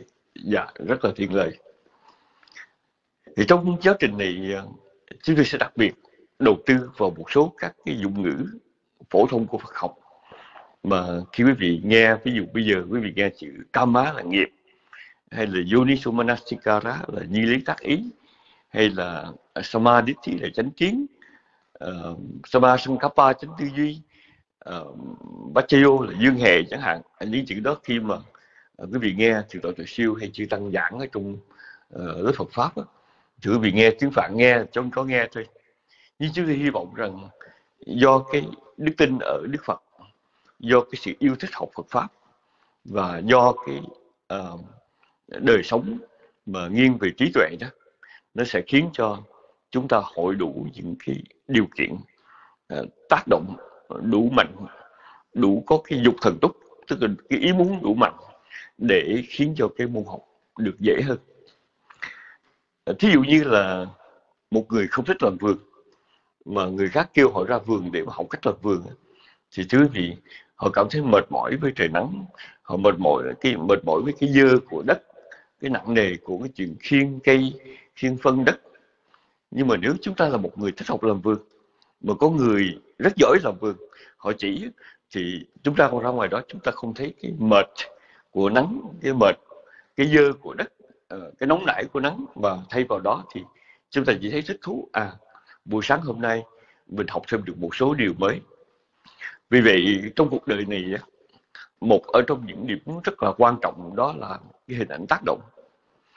Khi mà thượng tọa từ siêu và chúng tôi vào chùa ờ, mới tu á, thì chúng tôi nhớ rằng ở gần những cái vị như là ngài tịnh sự và Tượng minh châu hay là sư trưởng nó là một hình, những hình ảnh đập vào trong đầu chúng tôi rằng cái việc học Phật pháp nó là một việc có giá trị. Và mình cũng khao khát cũng tha thiết được bước theo cái chân của thầy tổ à, những vị đi trước. À, đã từng học như vậy đã từng à, dịch kinh như vậy biết sách như vậy mình rất là hoan hỷ. Nhưng mà sau này thì có một số các vị xuất gia lại không có được cái à, cái tâm tha thiết đó. Và vì này quay sang một cái một cái hướng khác. Và mặc dù thầy tổ là những người học rất giỏi nhưng mà vị này không thấy hình ảnh vì thầy tổ là cái hình ảnh khích lệ mình. Thì khi mà không thấy hình ảnh của thầy tổ là khích lệ thì mình chạy theo những cái môn học khác á, đôi khi nó khiến cho mình quể quải trong vấn đề học Phật. Bởi vì à, nếu chúng ta à, học Phật pháp mà chúng ta học cái tâm ưa thích tâm hoan hỷ cộng vào trong đó đức tin và đồng thời chúng ta cũng thấy được rằng khi mà mình học phản ngữ thì cái sự học Phật pháp của chúng ta nó sẽ tinh xác hơn. Sự học Phật pháp của chúng ta sẽ được uh, sẽ, mình mình mình sẽ cảm thấy rằng nó nó nó, nó thoải mái hơn. Thì từ đó cái môn học uh, nó không sẽ không không khó khăn. Thân tình mà nói đó thì uh, hồi xưa ờ, từ đầu từ xưa và chúng tôi vào học mà có nếu có đủ cái tài liệu như bây giờ và có sẵn những người để mà mình hỏi đó thì là rất là có là hạnh phúc vô cùng nhưng mà thời đó thì hạn chế lắm thưa quý vị. Muốn tìm một vị thầy để mà hỏi thì cũng phải đi rất xa đi rất là tốn kém. Mà muốn uh, tìm ra sách học thì chúng tôi phải thưa rằng lúc đó sách dạy tiếng Bali gọi là đếm trên đầu ngón tay. Dạ yeah, đếm đầu ngón tay. Uh, có chú sách học Bali của hòa thượng Minh Châu hay là học Bali của hòa thượng hậu Tông văn phạm Bali của ngài hậu Tông dịch. Uh, đại khái như vậy. Uh, sách học đã hiếm mà từ điển cũng đã hiếm uh, tức là học học một cách rất là khổ sở. Ngày hôm nay thì uh, chúng ta tương đối là lại có được nhiều cái uh, tư liệu. Do vậy uh, chúng tôi mong một điều rằng uh, tất cả chúng ta trong cái việc tu cũng như việc học sẽ cùng nhau sát tấn cùng nhau khích lệ và tìm thấy cái trợ duyên cho nhau. À, một cái giá trị gì đó đôi khi nó đến từ một người và nó cũng được phải được tác động bởi người khác. Giống như là à, trong cuộc sống hàng ngày ta, mà khi uống một thứ thuốc mà nó có công năng trị bệnh tốt, hay là một cái máy lọc nước, mà cái máy lọc nước nó có lợi cho sức khỏe, thì không phải nó chỉ có cái máy đó không là đủ, không phải chỉ có món thuốc là đủ, mà còn có người đã sử dụng và nhận ra được giá trị đó, và người đó tác động những người khác à, cùng nhận thức ra giá trị đó. Thì thứ gì Đức Thế Tôn khi mà ngài giác ngộ với cội Bồ đề ờ, trong việc tuyên lưu uh, chánh pháp cho quảng đại quần chúng đó, thì phải nói một điều rằng uh, đó là một một cái nỗ lực dày công rất là nhiều cái công sức của ngài. Từ việc mà uh, cảm hóa uh, hướng dẫn cho những đệ tử xuất gia uh, tiên khởi là ngày kiều trần như rồi sau này có những bậc đệ tử lỗi lạc như ngày sáng thành phất ngày bục hiền liên là tôn gia nanda, vân vân. Và đến cả cái thế hệ mai hậu mà học trưởng thành để Phật pháp còn tồn tại đến ngày hôm nay, thì thú vị, nếu chúng ta đọc kỹ, nhìn kỹ thì quả thật chúng ta rất có phước. Cho đến giờ này 2.600 ờ, năm sau khi ờ, Đức Thế Tôn ờ, ra đời rồi mà chúng ta vẫn còn có thể hưởng được cái sứ nguồn của Phật pháp, chúng ta vẫn còn có thể ngồi đây mỗi ngày để cùng nhau chiêm nghiệm về lời dạy của ngài. Và uh, chúng ta không phải nói tự ý mà nói mà chúng ta nói có cái thái độ nghiêm túc uh, chuẩn mực. Thì đối với uh, chúng ta chúng ta nên hoan hỷ và chia sẻ niềm hoan hỷ đó truyền đạt niềm hoan hỷ đó cho cho nhau để tạo nên cái cảm hứng về tu học. Uh, vô tri bất bộ nếu chúng ta không biết thì chúng ta không thể uh, có cái tâm uh, ờ, kính mộ cái tâm hâm mộ cái tâm quy ngưỡng được. Và khi chúng ta biết được giá trị thì cái sự hăng hái đó nó sẽ khiến cho sự khó khăn giảm thiểu đi rất là nhiều. À, chúng tôi thấy một điều rằng ở trong cuộc đời này những ai mà có tâm à, ham tu chuộng học và ưa thích sự tu học thì riêng về cái tâm ham tu chuộng học đó nó đã giúp cho người đó vượt qua cái khó khăn hết 50% rồi. Và do vậy à, tất cả chúng ta hãy cùng nhau làm một điều à, rất là à, quan trọng à, ở trong cuộc sống là à, chúng ta hãy tự tạo cho mình một cái sự hăng hái một niềm tin yêu một tấm lòng nhiệt thành đối với một cái môn học mà nằm tàn ẩn đằng sau cái kho tàng của kinh điển. Đôi khi chúng ta không biết thì kho tàng kinh điển đó bị phủ lớp bụi mờ của thời gian. Nhưng mà nếu chúng ta biết khéo khai quật thì đó là cả một kho tàng. Mà không phải chúng ta chỉ hưởng thụ đời này mà còn nhiều đời sau sau nữa. Chúng tôi xin kết thúc chương trình uh, sinh hoạt hôm nay của Room Phật pháp Buddha kính thiên chư tăng đã vào room để chia sẻ đảnh lễ quý ngài. Thân chào tạm biệt quý phật tử. Kính chúc tất cả một ngày an lành một đêm an lành. Hẹn gặp lại trong chương trình ngày mai. Nam mô bổn thầy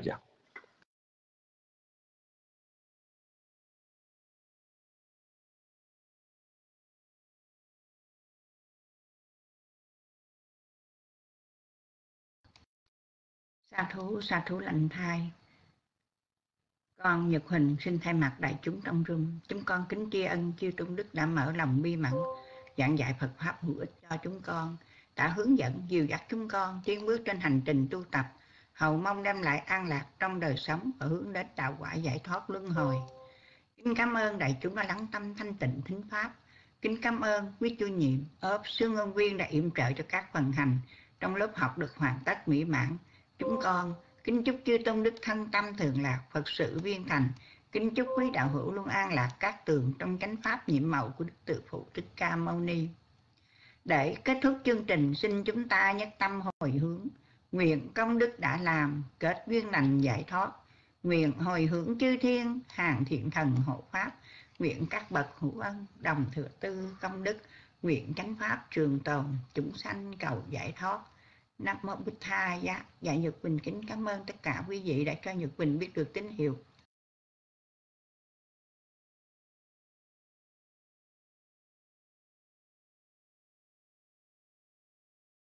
Yang kincik kusala kamang kapa panggiriyam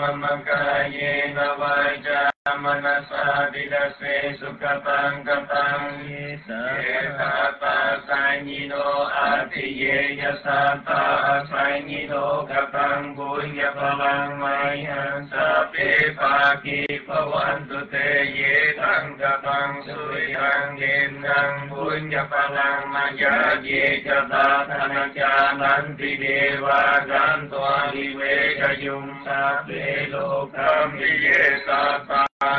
văn ta tha ra ni tu ca ma nuôi phô cho năng ta về la phan tu ma ma chi pha ni đi xin hồi hướng phước lành. Khắp cùng pháp giới chúng sanh rồi dừng, mẹ ca thầy tổ thân nhân hiện tiền quá ban tròn phần phước duyên cầu xin hộ pháp chư thiên, phát tâm hoan hỷ bao truyền gần xa cầu cho mưa thuận cho hòa pháp hưng thường chuyển nhà nhà an thương chúng sanh ba cõi sao đường do nhờ thần phẩm bảo tồn mạng căn nghiệp lành từ cầu ý thân hóa thành khôn quả thủy nhân สาปังสุบังกลังรักขันตุสัพพเทวตาสัพพบุตาลุตาเวนะโสติโหนตุนิโรนตรังโหตุสัพพังสุม ตลังกาลังกาลันตุสัพพลิวตาสัพพธรรมารุภาเวนะโสติหุนตุนิรุนตรังโมตุสัพพสุมังกาลังกาลันตุสัพพลิวตาสัพพสังฆานุภา